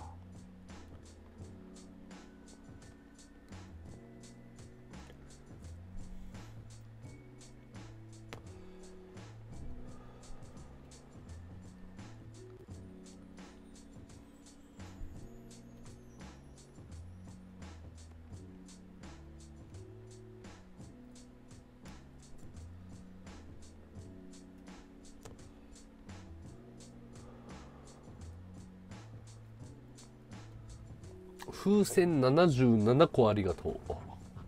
あざす。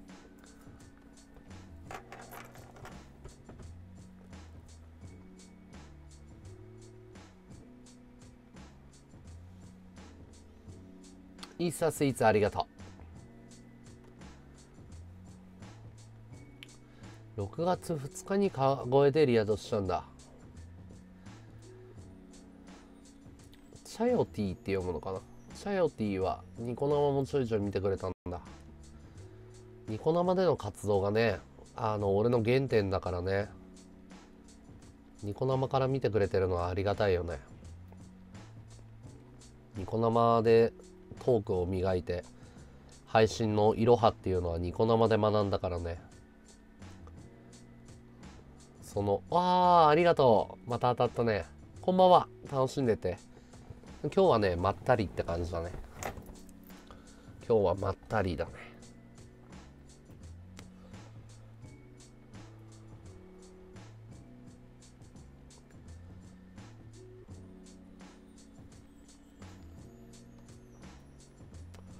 数合わせありがとう。このイベント好き。ギャンブル性があるよね。ああ最後に笑ったのいつだ？はやさんはどつ？超会議行こうかどうか迷ってるけど行ったとしても何にもないからなそこな。あれはなんつうんだろう。大人がやってる文化祭みたいなもんだからね。チヨティね、うん。全部使ってくれんの？ありがとう。23個風船ありがとう。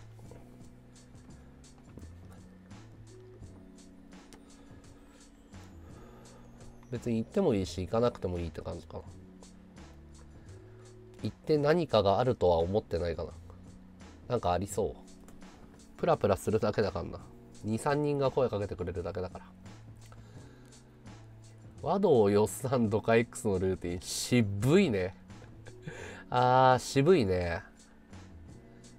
和道よっさんドカ X のルーティンで FX やるって狂ってるな、まあ、ドカ X はドカ X があの1年ぐらい引退してくれたおかげで俺今のポジションがあると思っててドカ X がまだずっと現役続けてたら俺多分今のポジションになってなかったろうな。だからドカさんには結構感謝してんだよね。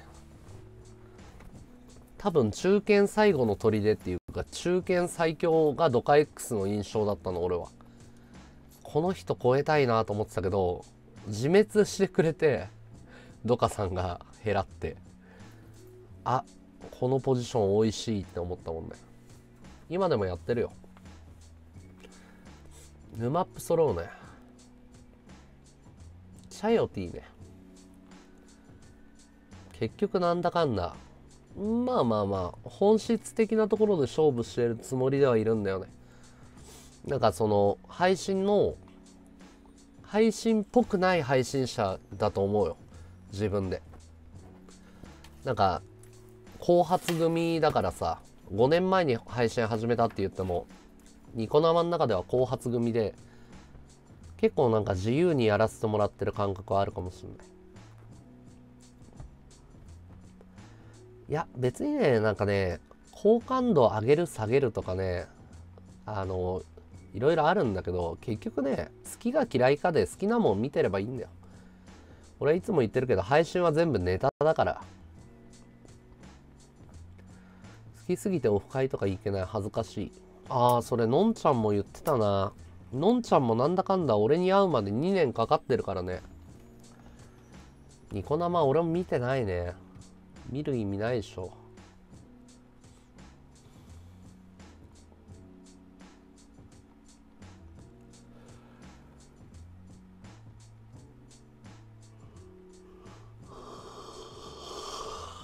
もう5年もやってんだよなこんなことな。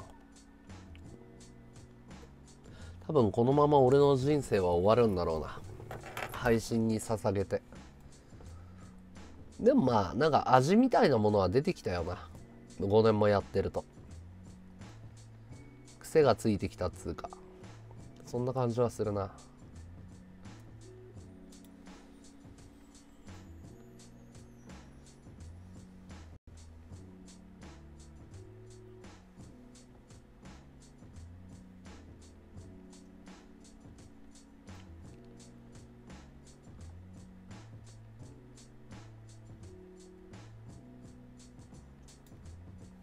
うん。いや継続が全てだと思うよ。なんかトークスキルとか人間性がとか神回がとかいろんなこと言うけど継続する継続するかしないかだけだよな。どんなに才能があってもやってるかやってないかだけだよ、うん、孫子和道アイラの頃めちゃくちゃだったよね。あとワンワンか。いや孫子和道アイラってあんまりやった記憶がないかな。うん。ていうかね多分ね孫子ねちょっとメンヘラの系あると思ってるの俺は。あの気づいてる人は気づいてるんだけど孫子ね若干ねなんかこうメンヘラの系俺はあると思ってるよ。あの頭は俺よりもはるかにいいんだけどあの結構ね減らりやすいっていうか。でそれをリスナーに見せ見せないし。うん。ワンワンとは徹底的にやったよ俺は。今のニコ生っていうかねあのプレイヤー次第だよ。うん。あのニコ生のサイトがどうとかじゃないんだよもう。あのいい人を集めるかどうかだけの勝負だから。運営サイドは。みどりさんの絡みの一番最初は何だろう相撲かな？相撲相撲大会かな。多分。そこで売名してでえっ、ー、と暗黒塾第1期第2期も行ってるかな。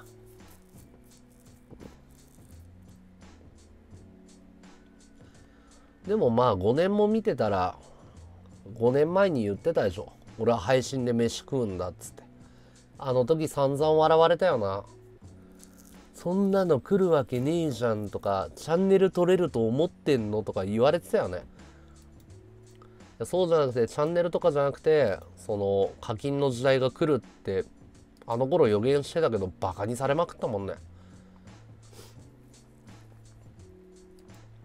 俺は絶対来ると思ってたからまあ当たってよかったけど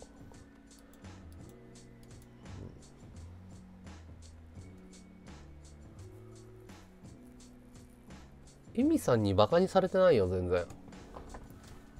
エミさんが一番俺に影響を与えた配信者かな。その発言ではアドバイスでは。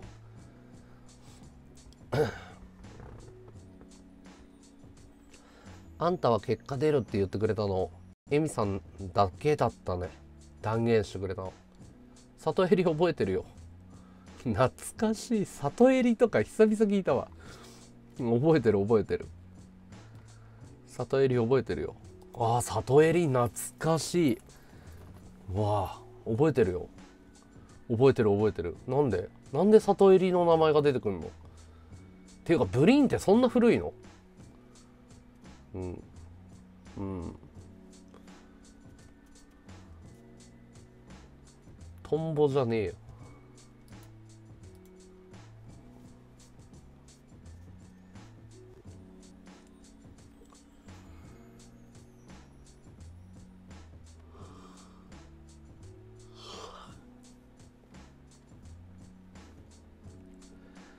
エミさんが一番プロ意識高かったっていうのとこの人は他のことで成功するだろうなっていうふうに思った俺は。ただあんなにベストセラー作家になるとかブロガーで有名になるとは思ってなかったね。正直。思ってたはるかに上に行ったからびっくりした。エミさんに関しては。はいこんばんは。リンクいらっしゃい。ポチエムと揉めたっつうかポチエムが引っかき回しただけだからねロハコ事件柏木の事件でしょ。揉めたっていうか俺はやっかまれたっていう感覚だけどね。なんでこれだからまあポチエムとボクシングで決着つけたの知ってる？懐かしいよね。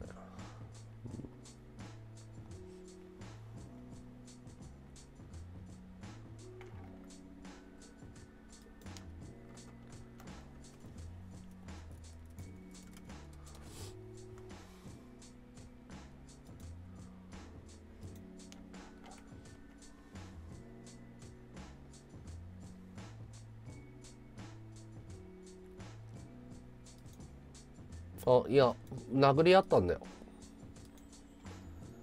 ポチエムと。2年ぶりぐらいに会ったね。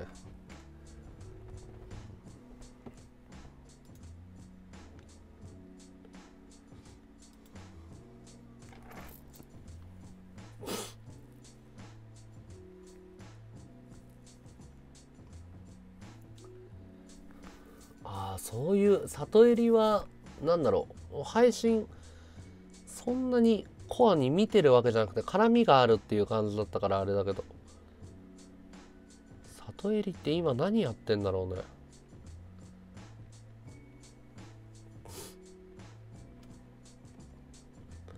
いろんな人がいなくなってるよな。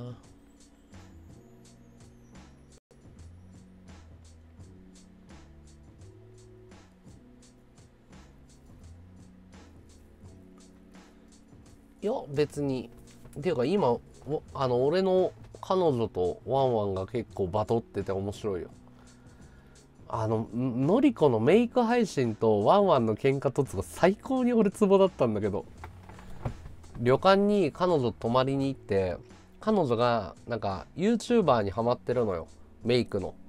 でのんちゃんもやってみようっつってのんちゃんって言うんだけどのんちゃんがこうお化粧しながらこうここはですねファンデーションをこうやって塗るんですよとか配信でやってその時にワンワンから凸かけてなんかすげえなんかその化粧配信をしながらワンワンをディスるっていうすごい高度なテクニックをのりこが披露しててくっそ面白かった。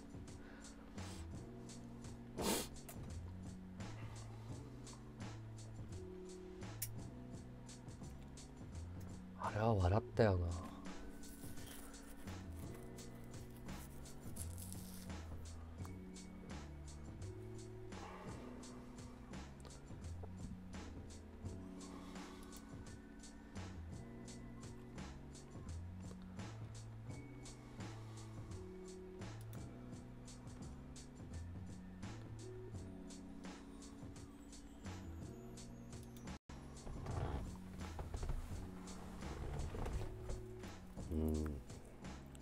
いやあれはすごいよねのりこね。切れたナイフが Q ちゃんボクシの音声使ってた頃。切れたナイフ今何やってんだろうね。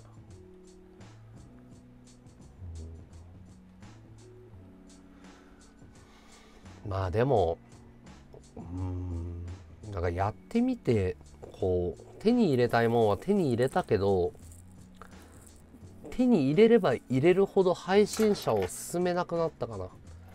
だから配信で飯食いたいとかいう相談めちゃめちゃ多いんだよ。だけど、本当にやめとけって心の底から言ってる。あの、本当にうまくいく人ごく一部だし、多分無理だよって言って。あの、運がいい人じゃないと勝てない世界だから、低燃費のいいとこじゃないわ。のんちゃんは揚げまんだよね。あの、のりこと出会ってから、俺の人生がなんか、すごく良くなってる気がしてて、あの、揚げまんっているんだよ。なんか、あと、その、付き合っててストレスがないっていうのは、すごく、すごいことだと思ってて。うん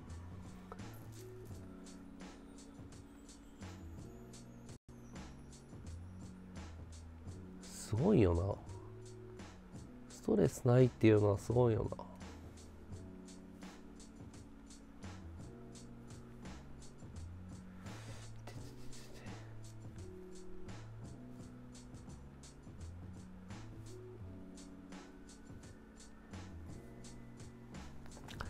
な。うあこれやばいかもしんない。何かが言ってるなこれ。なんだろう。なんかね今トイレに行ったのよ。コンビニの。あざだらけ。顔。あの配信など画質がさ画質の関係で見えないけどなんかこの辺とかね紫色になってたりするの、うん。いつも見てます。ありがとう。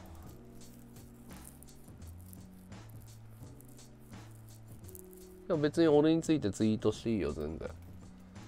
ハッシュタグ和道って入れてくれたらリツイートするよ。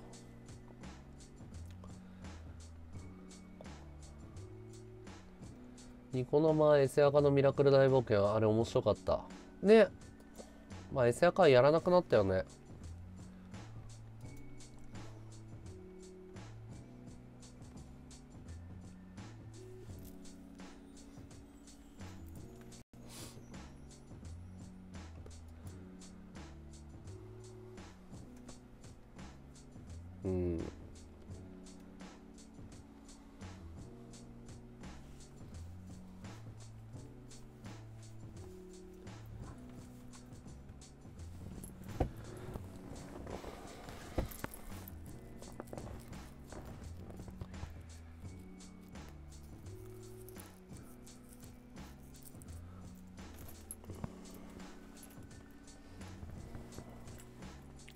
いやーイケメンだよ。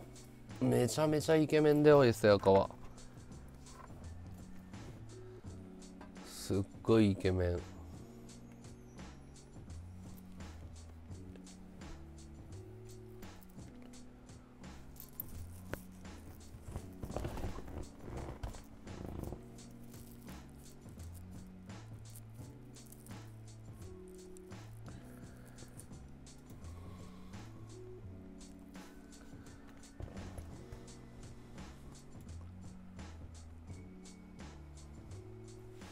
ね春先になったりすると突発的に 行動をしだすんだよ。冬場はね冬眠するんだよね毎回。まあまあ今でも痩せてもイケメン痩せたらイケメンだと思うよ。あれは躁うつ病だよ。藤木？へえなんかあれだろう劣化版みたいなのいっぱいいるじゃん俺の。俺の上位互換っていなくない？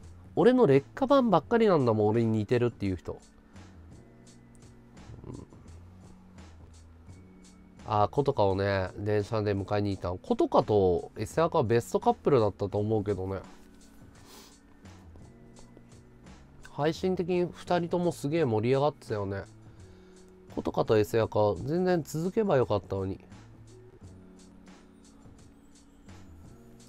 なんかベストカップル感がすごかったけどね。お似合いだったよね。ね。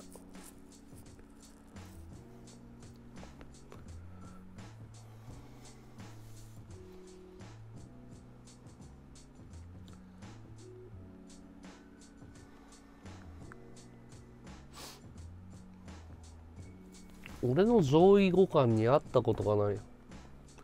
え 付き合ってたよ。っていうか2人ともそれで有名になったんだけど。子とかの方が若干まだ有名だったかな。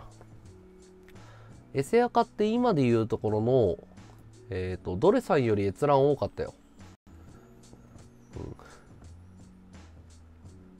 金梅さんよっさんとまではいかないけど誰くらいの実力はあったかな。めちゃめちゃ人多かったよ。ことかとエセアカが付き合ってた頃。ことかも大手だしね。ことかは部屋の中でダラダラダラダラしてるだけだからな。ゆうこさんいらっしゃい。お疲れ様です。ずいぶん夜遅いですね。1万人超えてたよね。余裕で超えてたよね。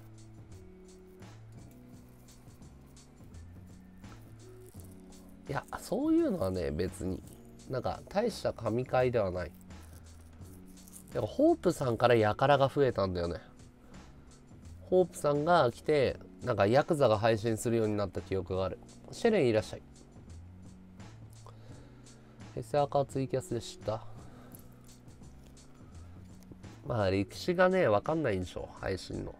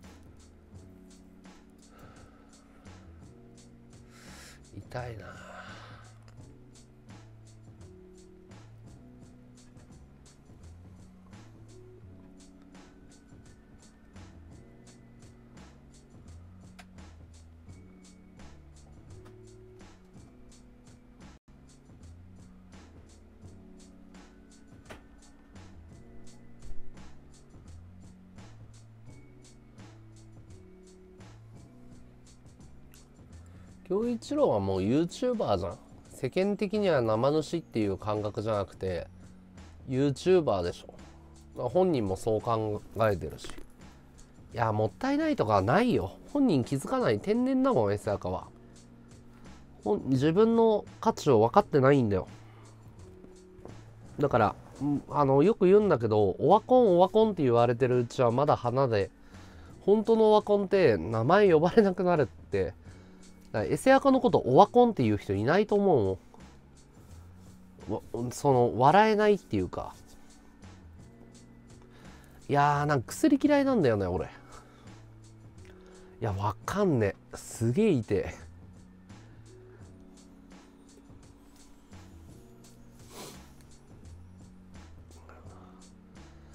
痛えなー。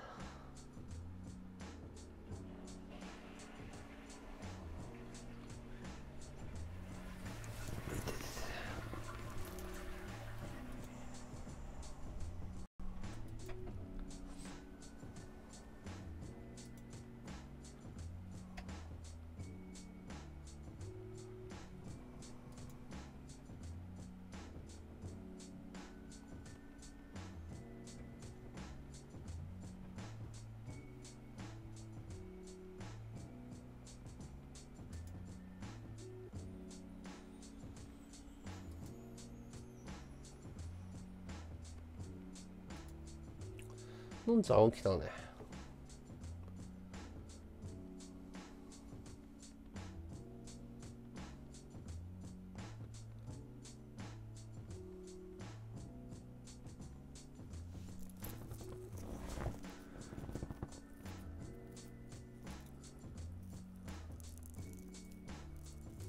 おいポンタさん風船ありがとう。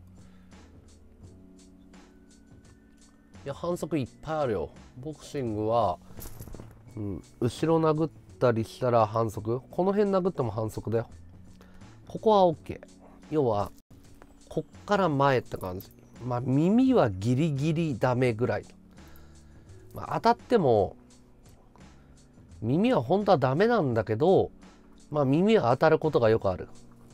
だからそれはレフェリーによる。こっから全面って言われてるの。全面。だから肩は OK でも背中はダメなのね。そう。だから上半身の全面だったら OK だここはセーフなのよ。でもこんなところ殴られると思っ想定してなかったからここことかはあるんだけど多分ねここを狙ったのがフックの返しで軌道がずれてここに入ったんだと思うの。肋骨神経っていうのがどこだろう？ど何？何骨？うん。だからラビットパンチって言うんだけどこうこうやって打って返しでこうガンって引っ掛けるパンチがあるんだけどここって頸椎でしょ。ここって神経が全部詰まってるから危ないクラッシュする脳みそがぶっ壊れんのよ。前は比較的大丈夫なんだけど後ろは首とか頸椎や骨折とかもシャレにならないから最悪の反則だ。そうそうそう。脇腹は筋肉鍛えようがないからね。だから骨にダイレクトに刺さったから拳がめちゃめちゃ痛いよ今。そう。しかもさここでも多分痛かったと思うんだけどリバーブローでも。こここの脇の下どここに入ったの？フックに相手の左フックがここに刺さったのよ。多分ここ狙ったんだと思うんだけど最悪。本当に痛い。超痛い。ゴンゾーいらっしゃい。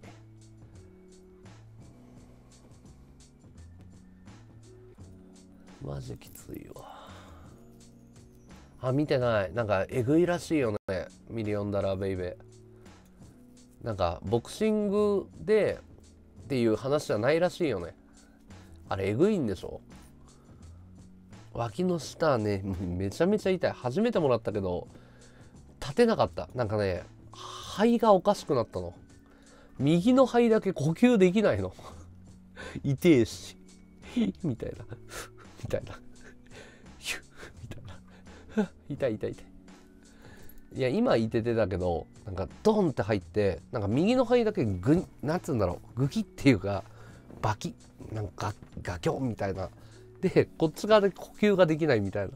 何これみたいな。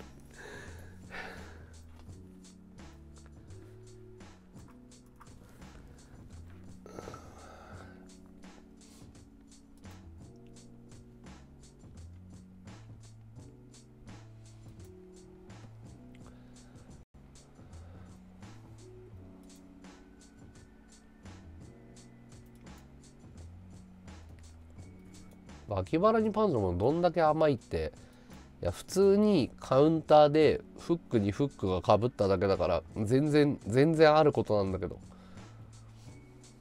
全然あるでしょ、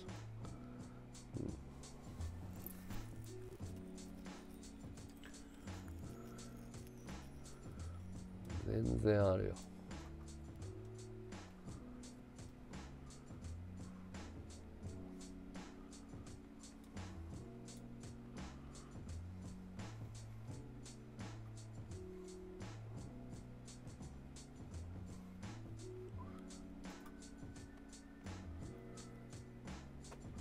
ボディーブローの変な変、うん、普通ここには入んないよ。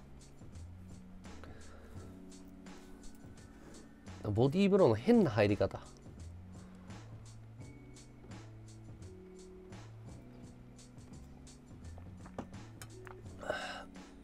いやフックの方が向いてるわ。寒いらっしゃい。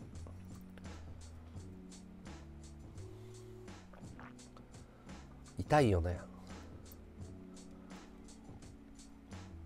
ひびは入ってないとは思うんだけど痛かったら多分ねこんな喋れないと思う。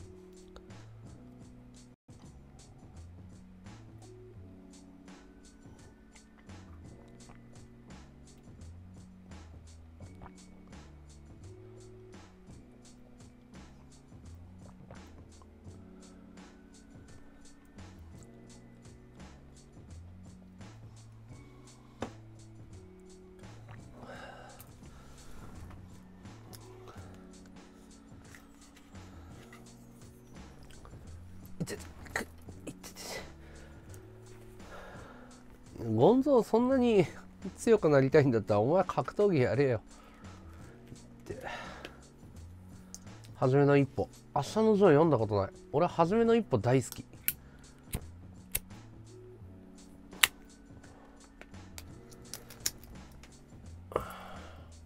息はね大丈夫なんだけど動かすと痛いね。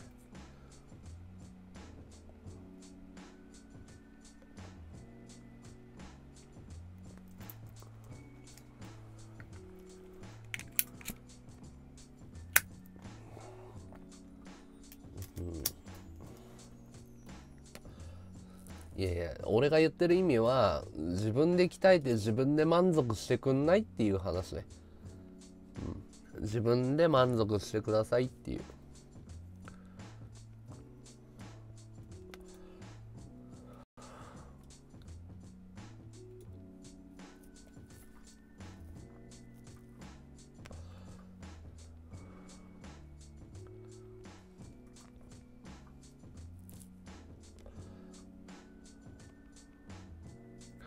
ばんは、マムさん。お疲れっす。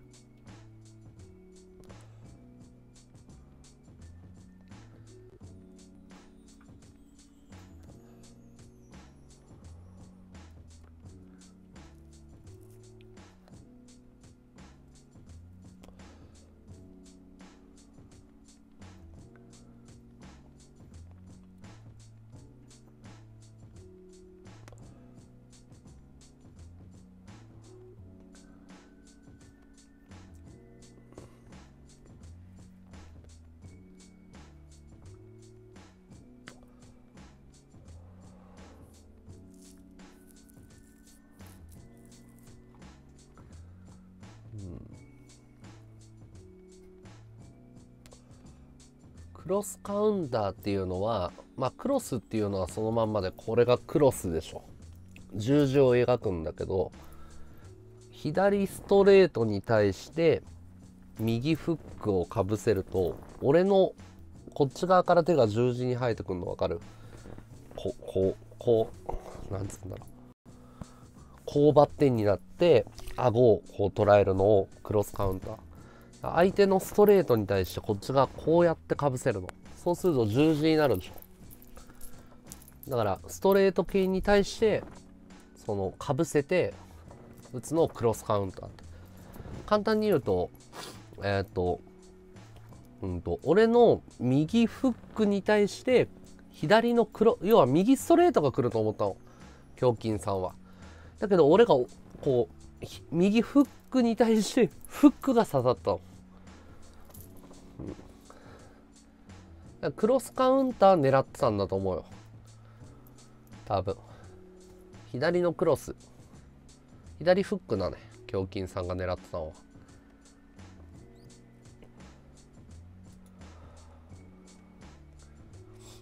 あのーさっき取られたパンチもそうだったもん。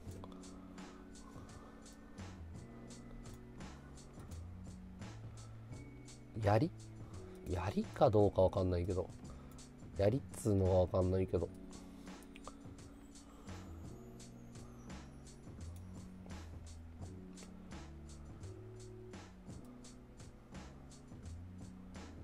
なんて言えばいいんだろうね。なかなか説明するのは難しいよ。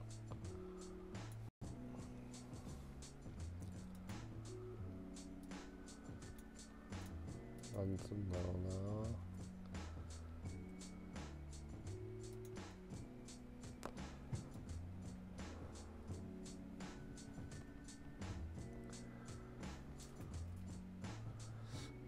どれくらいまで引き伸ばせるんだろうな。結構引き伸ばしても見れそうな気がするよ。このくらいでいいのかな。んかプツプツすんね。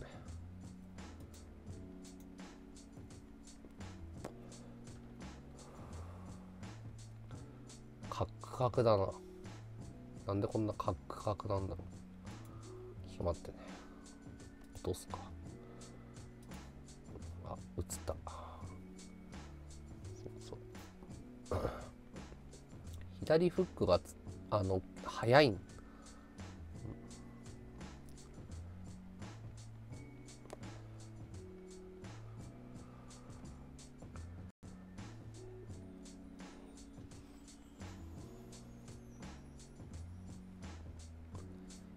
カウンターは技術が必要なのね。反射神経とセンスとスピードが必要だからあと勇気ね。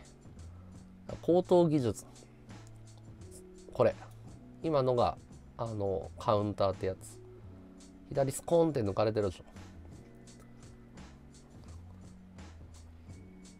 カトランワード2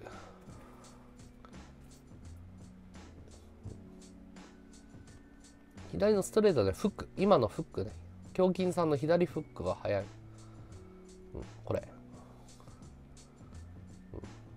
これ。これで次倒れるから。これ。ほら。漫画みたいに倒れたでしょ。でこれが脇腹に刺さったのが最悪だったの。これが今痛いっつってね。後半脇腹に刺さるんだけど。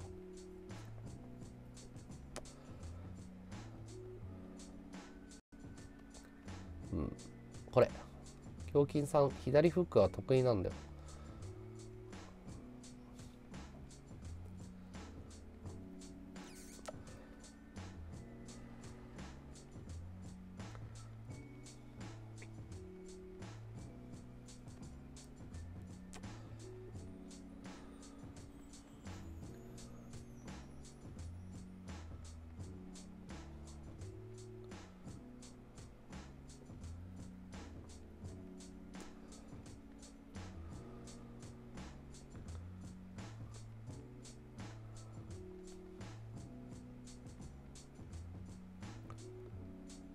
見ててよ右にこれ。最悪でしょ？最悪。右を思いっきり振ったとこれで刺さったでしょ？だから相打ち俺のパワーと胸筋さんのパワーダブルで食らうのがカウンターなの。俺攻撃仕掛けて後から出した胸筋さんのパンチがコンパクトだからグサって刺さったの。俺の振りかぶって好きだらけのところにこれがカウンターね。この右でぶん回そうとした時に最後ってこれ。最悪、うん、パンチ戻し別に遅くないよ俺。豆さん。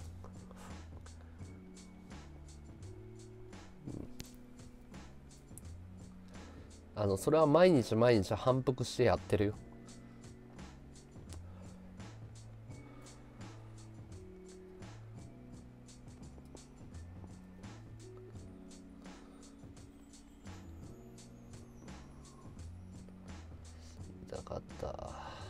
そう衝突事故みたいなもん。あのパンチは片方の加速で物にぶつかる感じで正面衝突みたいな。向こうも加速こっちも加速だから威力倍増みたいな。だからカウンターの利点はそこなの。相手の力で倒すからスピードさえ乗っかってたらパワーいらないのね。だからスパンと抜くように打つの。そうすると相手がそう突っ込んでくるタイプであればあるほどドカンと入るっていうか。カウンターパンチは危ない、まあ、だから技術が必要なんだけどね。勇気と。そうそう。もう一瞬だよ。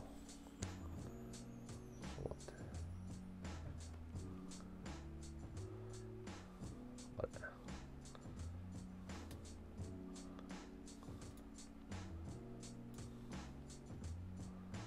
はじめまして。俺はかっこよくないっすよ。ブヨブヨですよ。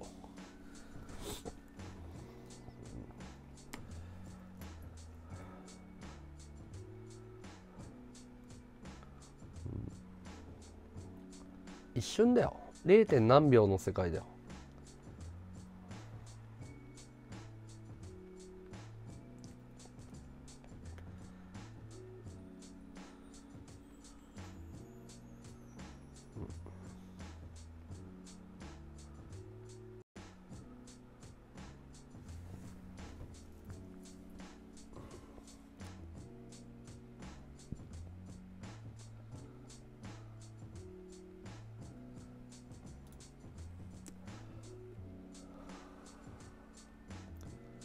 ガードしてるじゃん。ほら。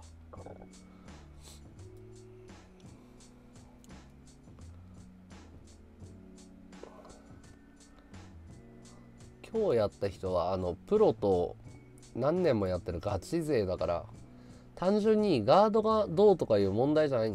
あのガチ勢なだけよ。スピードもパワーも戻すのもテクニックもコンビネーションの数も圧倒的に違うのマミさん。あれは3年本気でやって勝てるか勝てないかとかそういうレベルよ。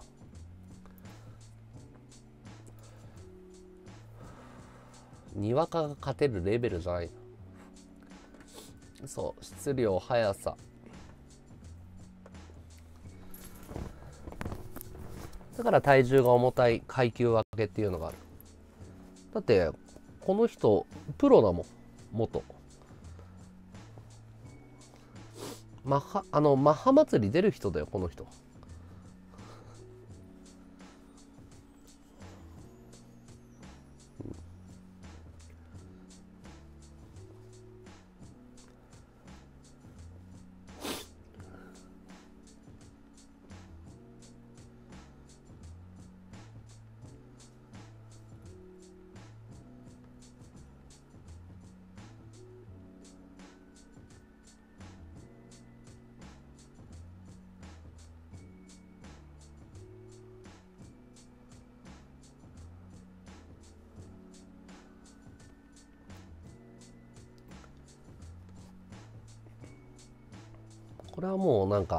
頭痛っていうかねズドンって入って頭痛。脳やられたっていうのが分かったねこれは。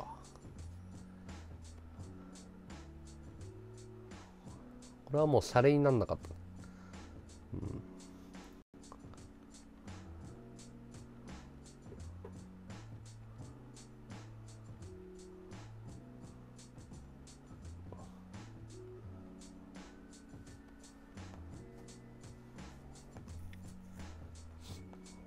頭の振りが足りないのとねあのなんつうんだろうあれになってないね。あのピーカブーになってない。コンビネーションのスピードが違うもんね。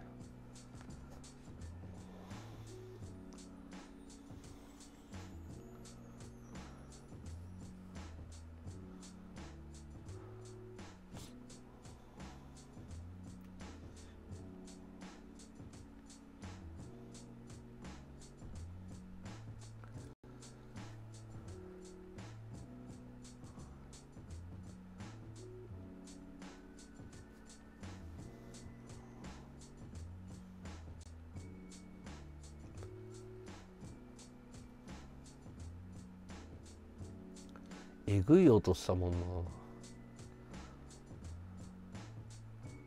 このワンツー良かったんだよな。これ当たったら良かったんだけど距離間違えたんだよ。このスピード乗ったワンツー良かったよな。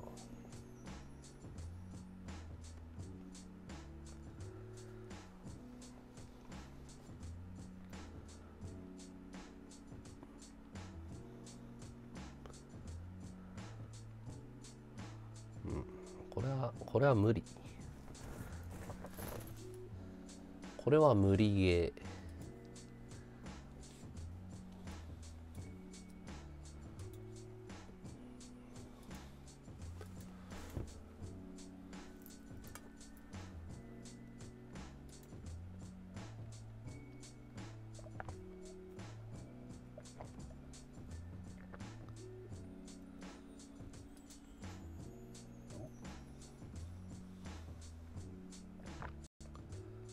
ばらく立てなかったっつうか頭ずっと痛かったよ。うん。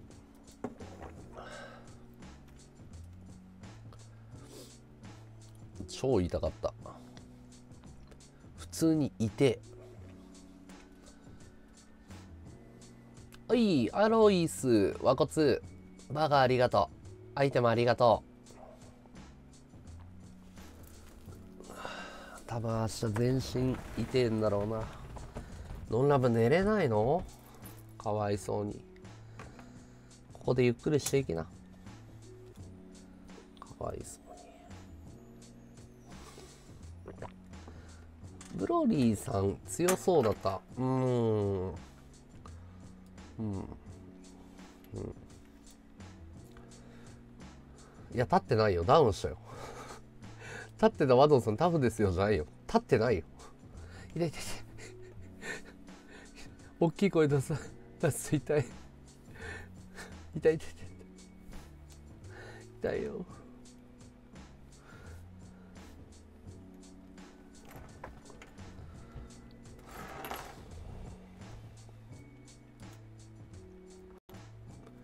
ダウンしてるしてる。立てなかった。ここもらった時と最後のやつは立てなかった。あのあれ無理怪我するって思った。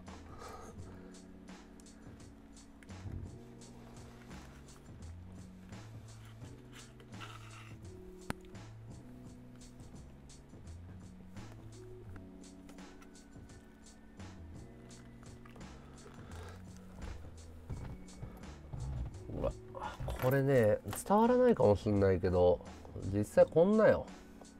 ここ紫になってんの分かる？このこの辺。この辺紫になってんの分かる？ちょっとね光で見えづらいんだと思うんだけど。あるかな？近くに行くとね紫になってんの分かると思うんだよ。この辺。超痛い。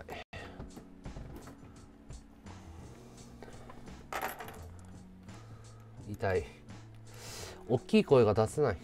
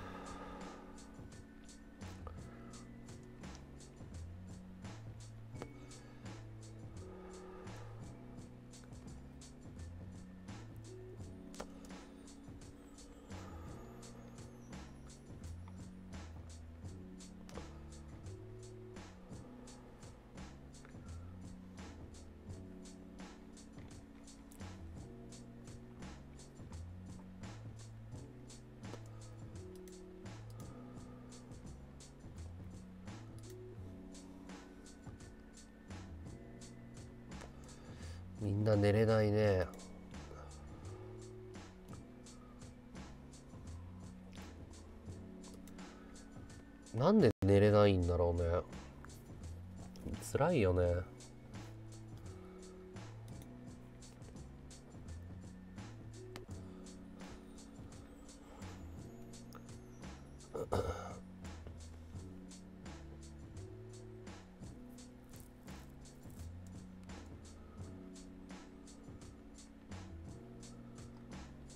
トレーニング全然しないですよ僕。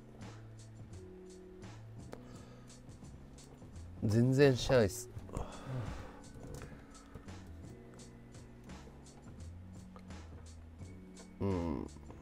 折れたらひび入ったらコルセットでしょ。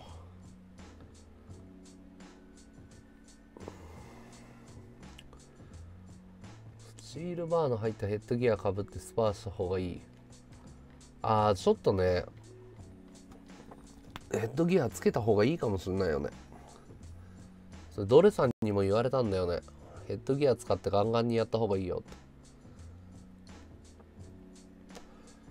殴られ慣れないといけないの後半。試合前は。そのスパーの数が少なすぎるんだよ俺らは。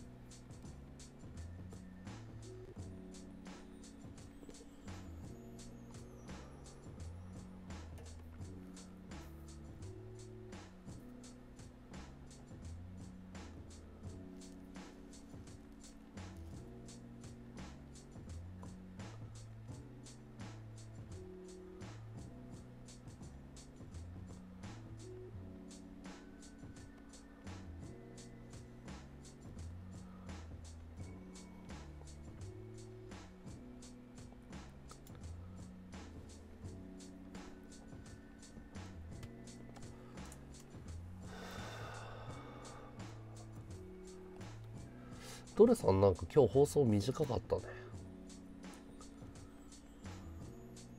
そうっすね。ワセリンつけるときれきカットしないために塗る感じですかね。ワセリンは、うん、俺はねあの捨て頃の時はこれ塗ってた。これ。バセリン。これを塗ってました。もこれってワセリンと一緒でしょ？バセリン。これでもいいんだよね別に。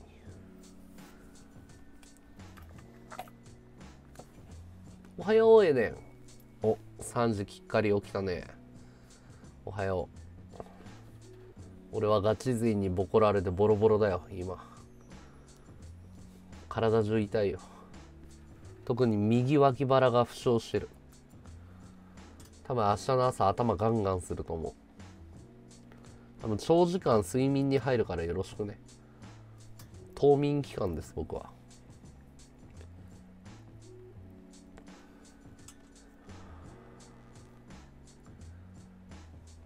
おはよう。ちょっとおはよう。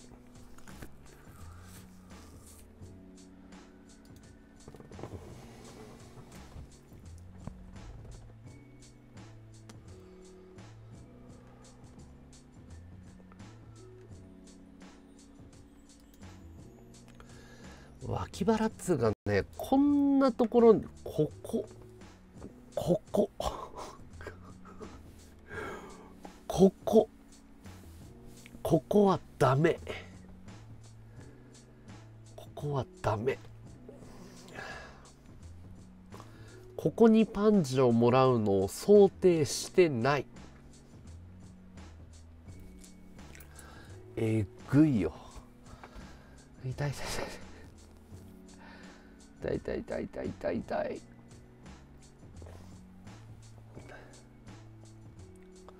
寝ようかな。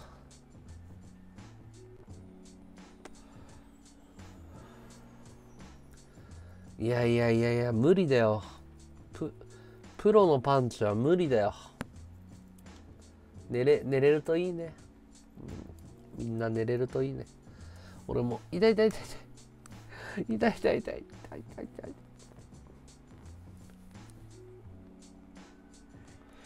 痛い痛いよ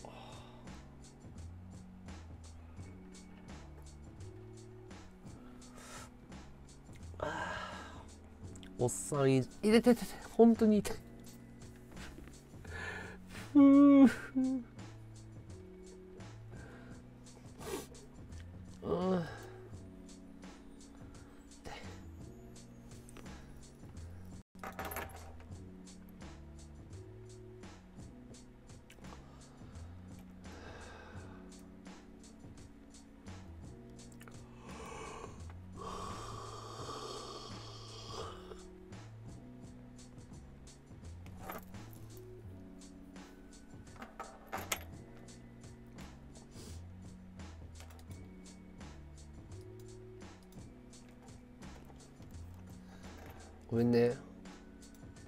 の3時間のトーク要約すると痛いだから。痛い。ひたすら。それ以上もそれ以下もないわけだから。そろそろ寝ようかな。ただ稼がないとダメだしな。どうしよう超会議行ってなんかステッカーでも売ってこようかな。ステッカー買ってくれるかなニコ生み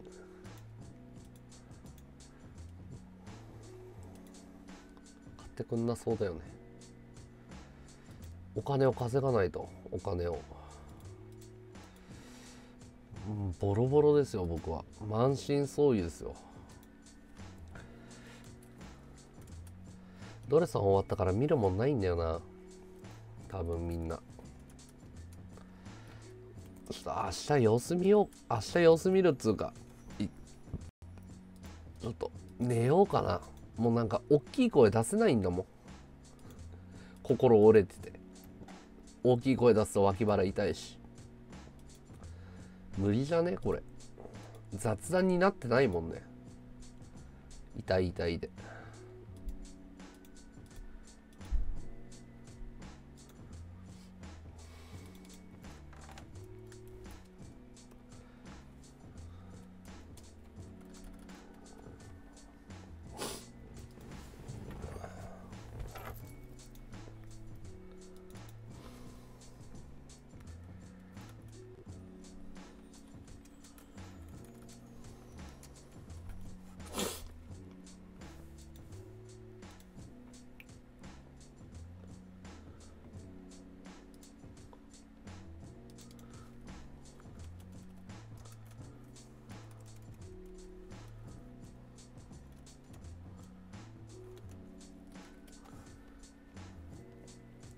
安静が一番だよね。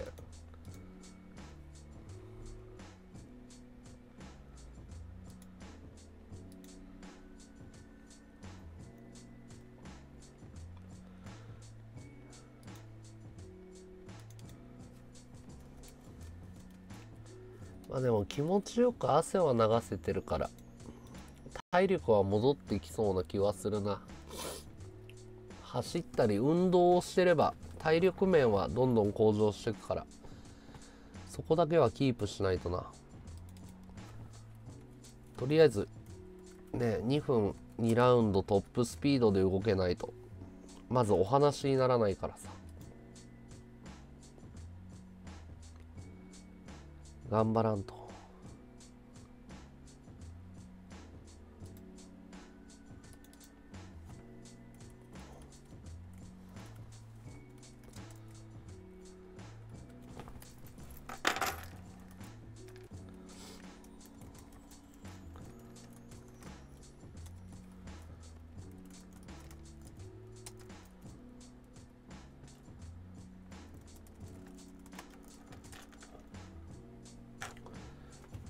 いやトレーニングしてないよ。だから。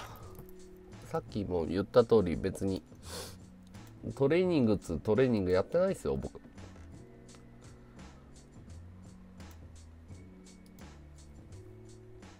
筋トレさん。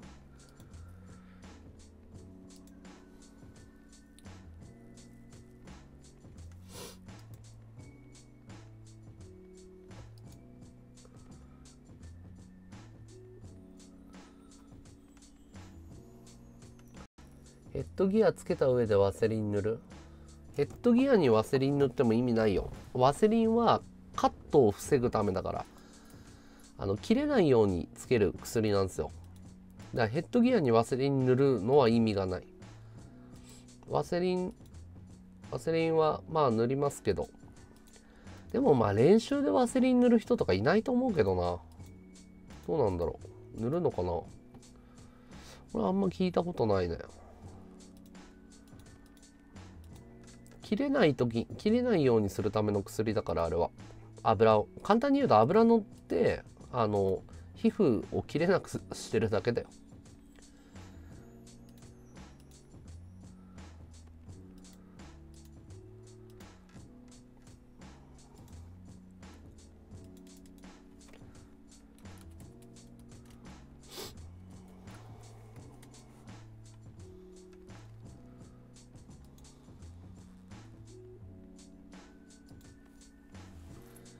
ドギアに塗らない？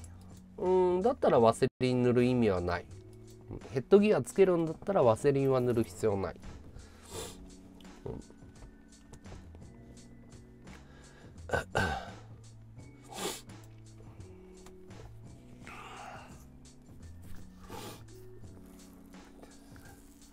ジム行ってるよ。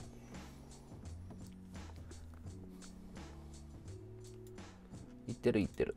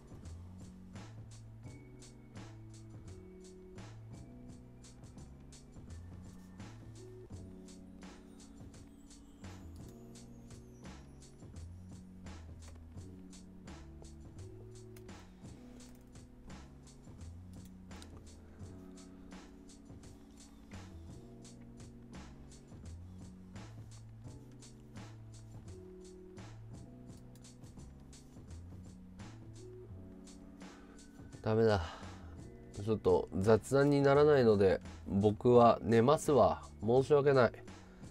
じゃあ皆さんお疲れ様です。ありがとうございました。おやすみなさい。明日起きたら放送します。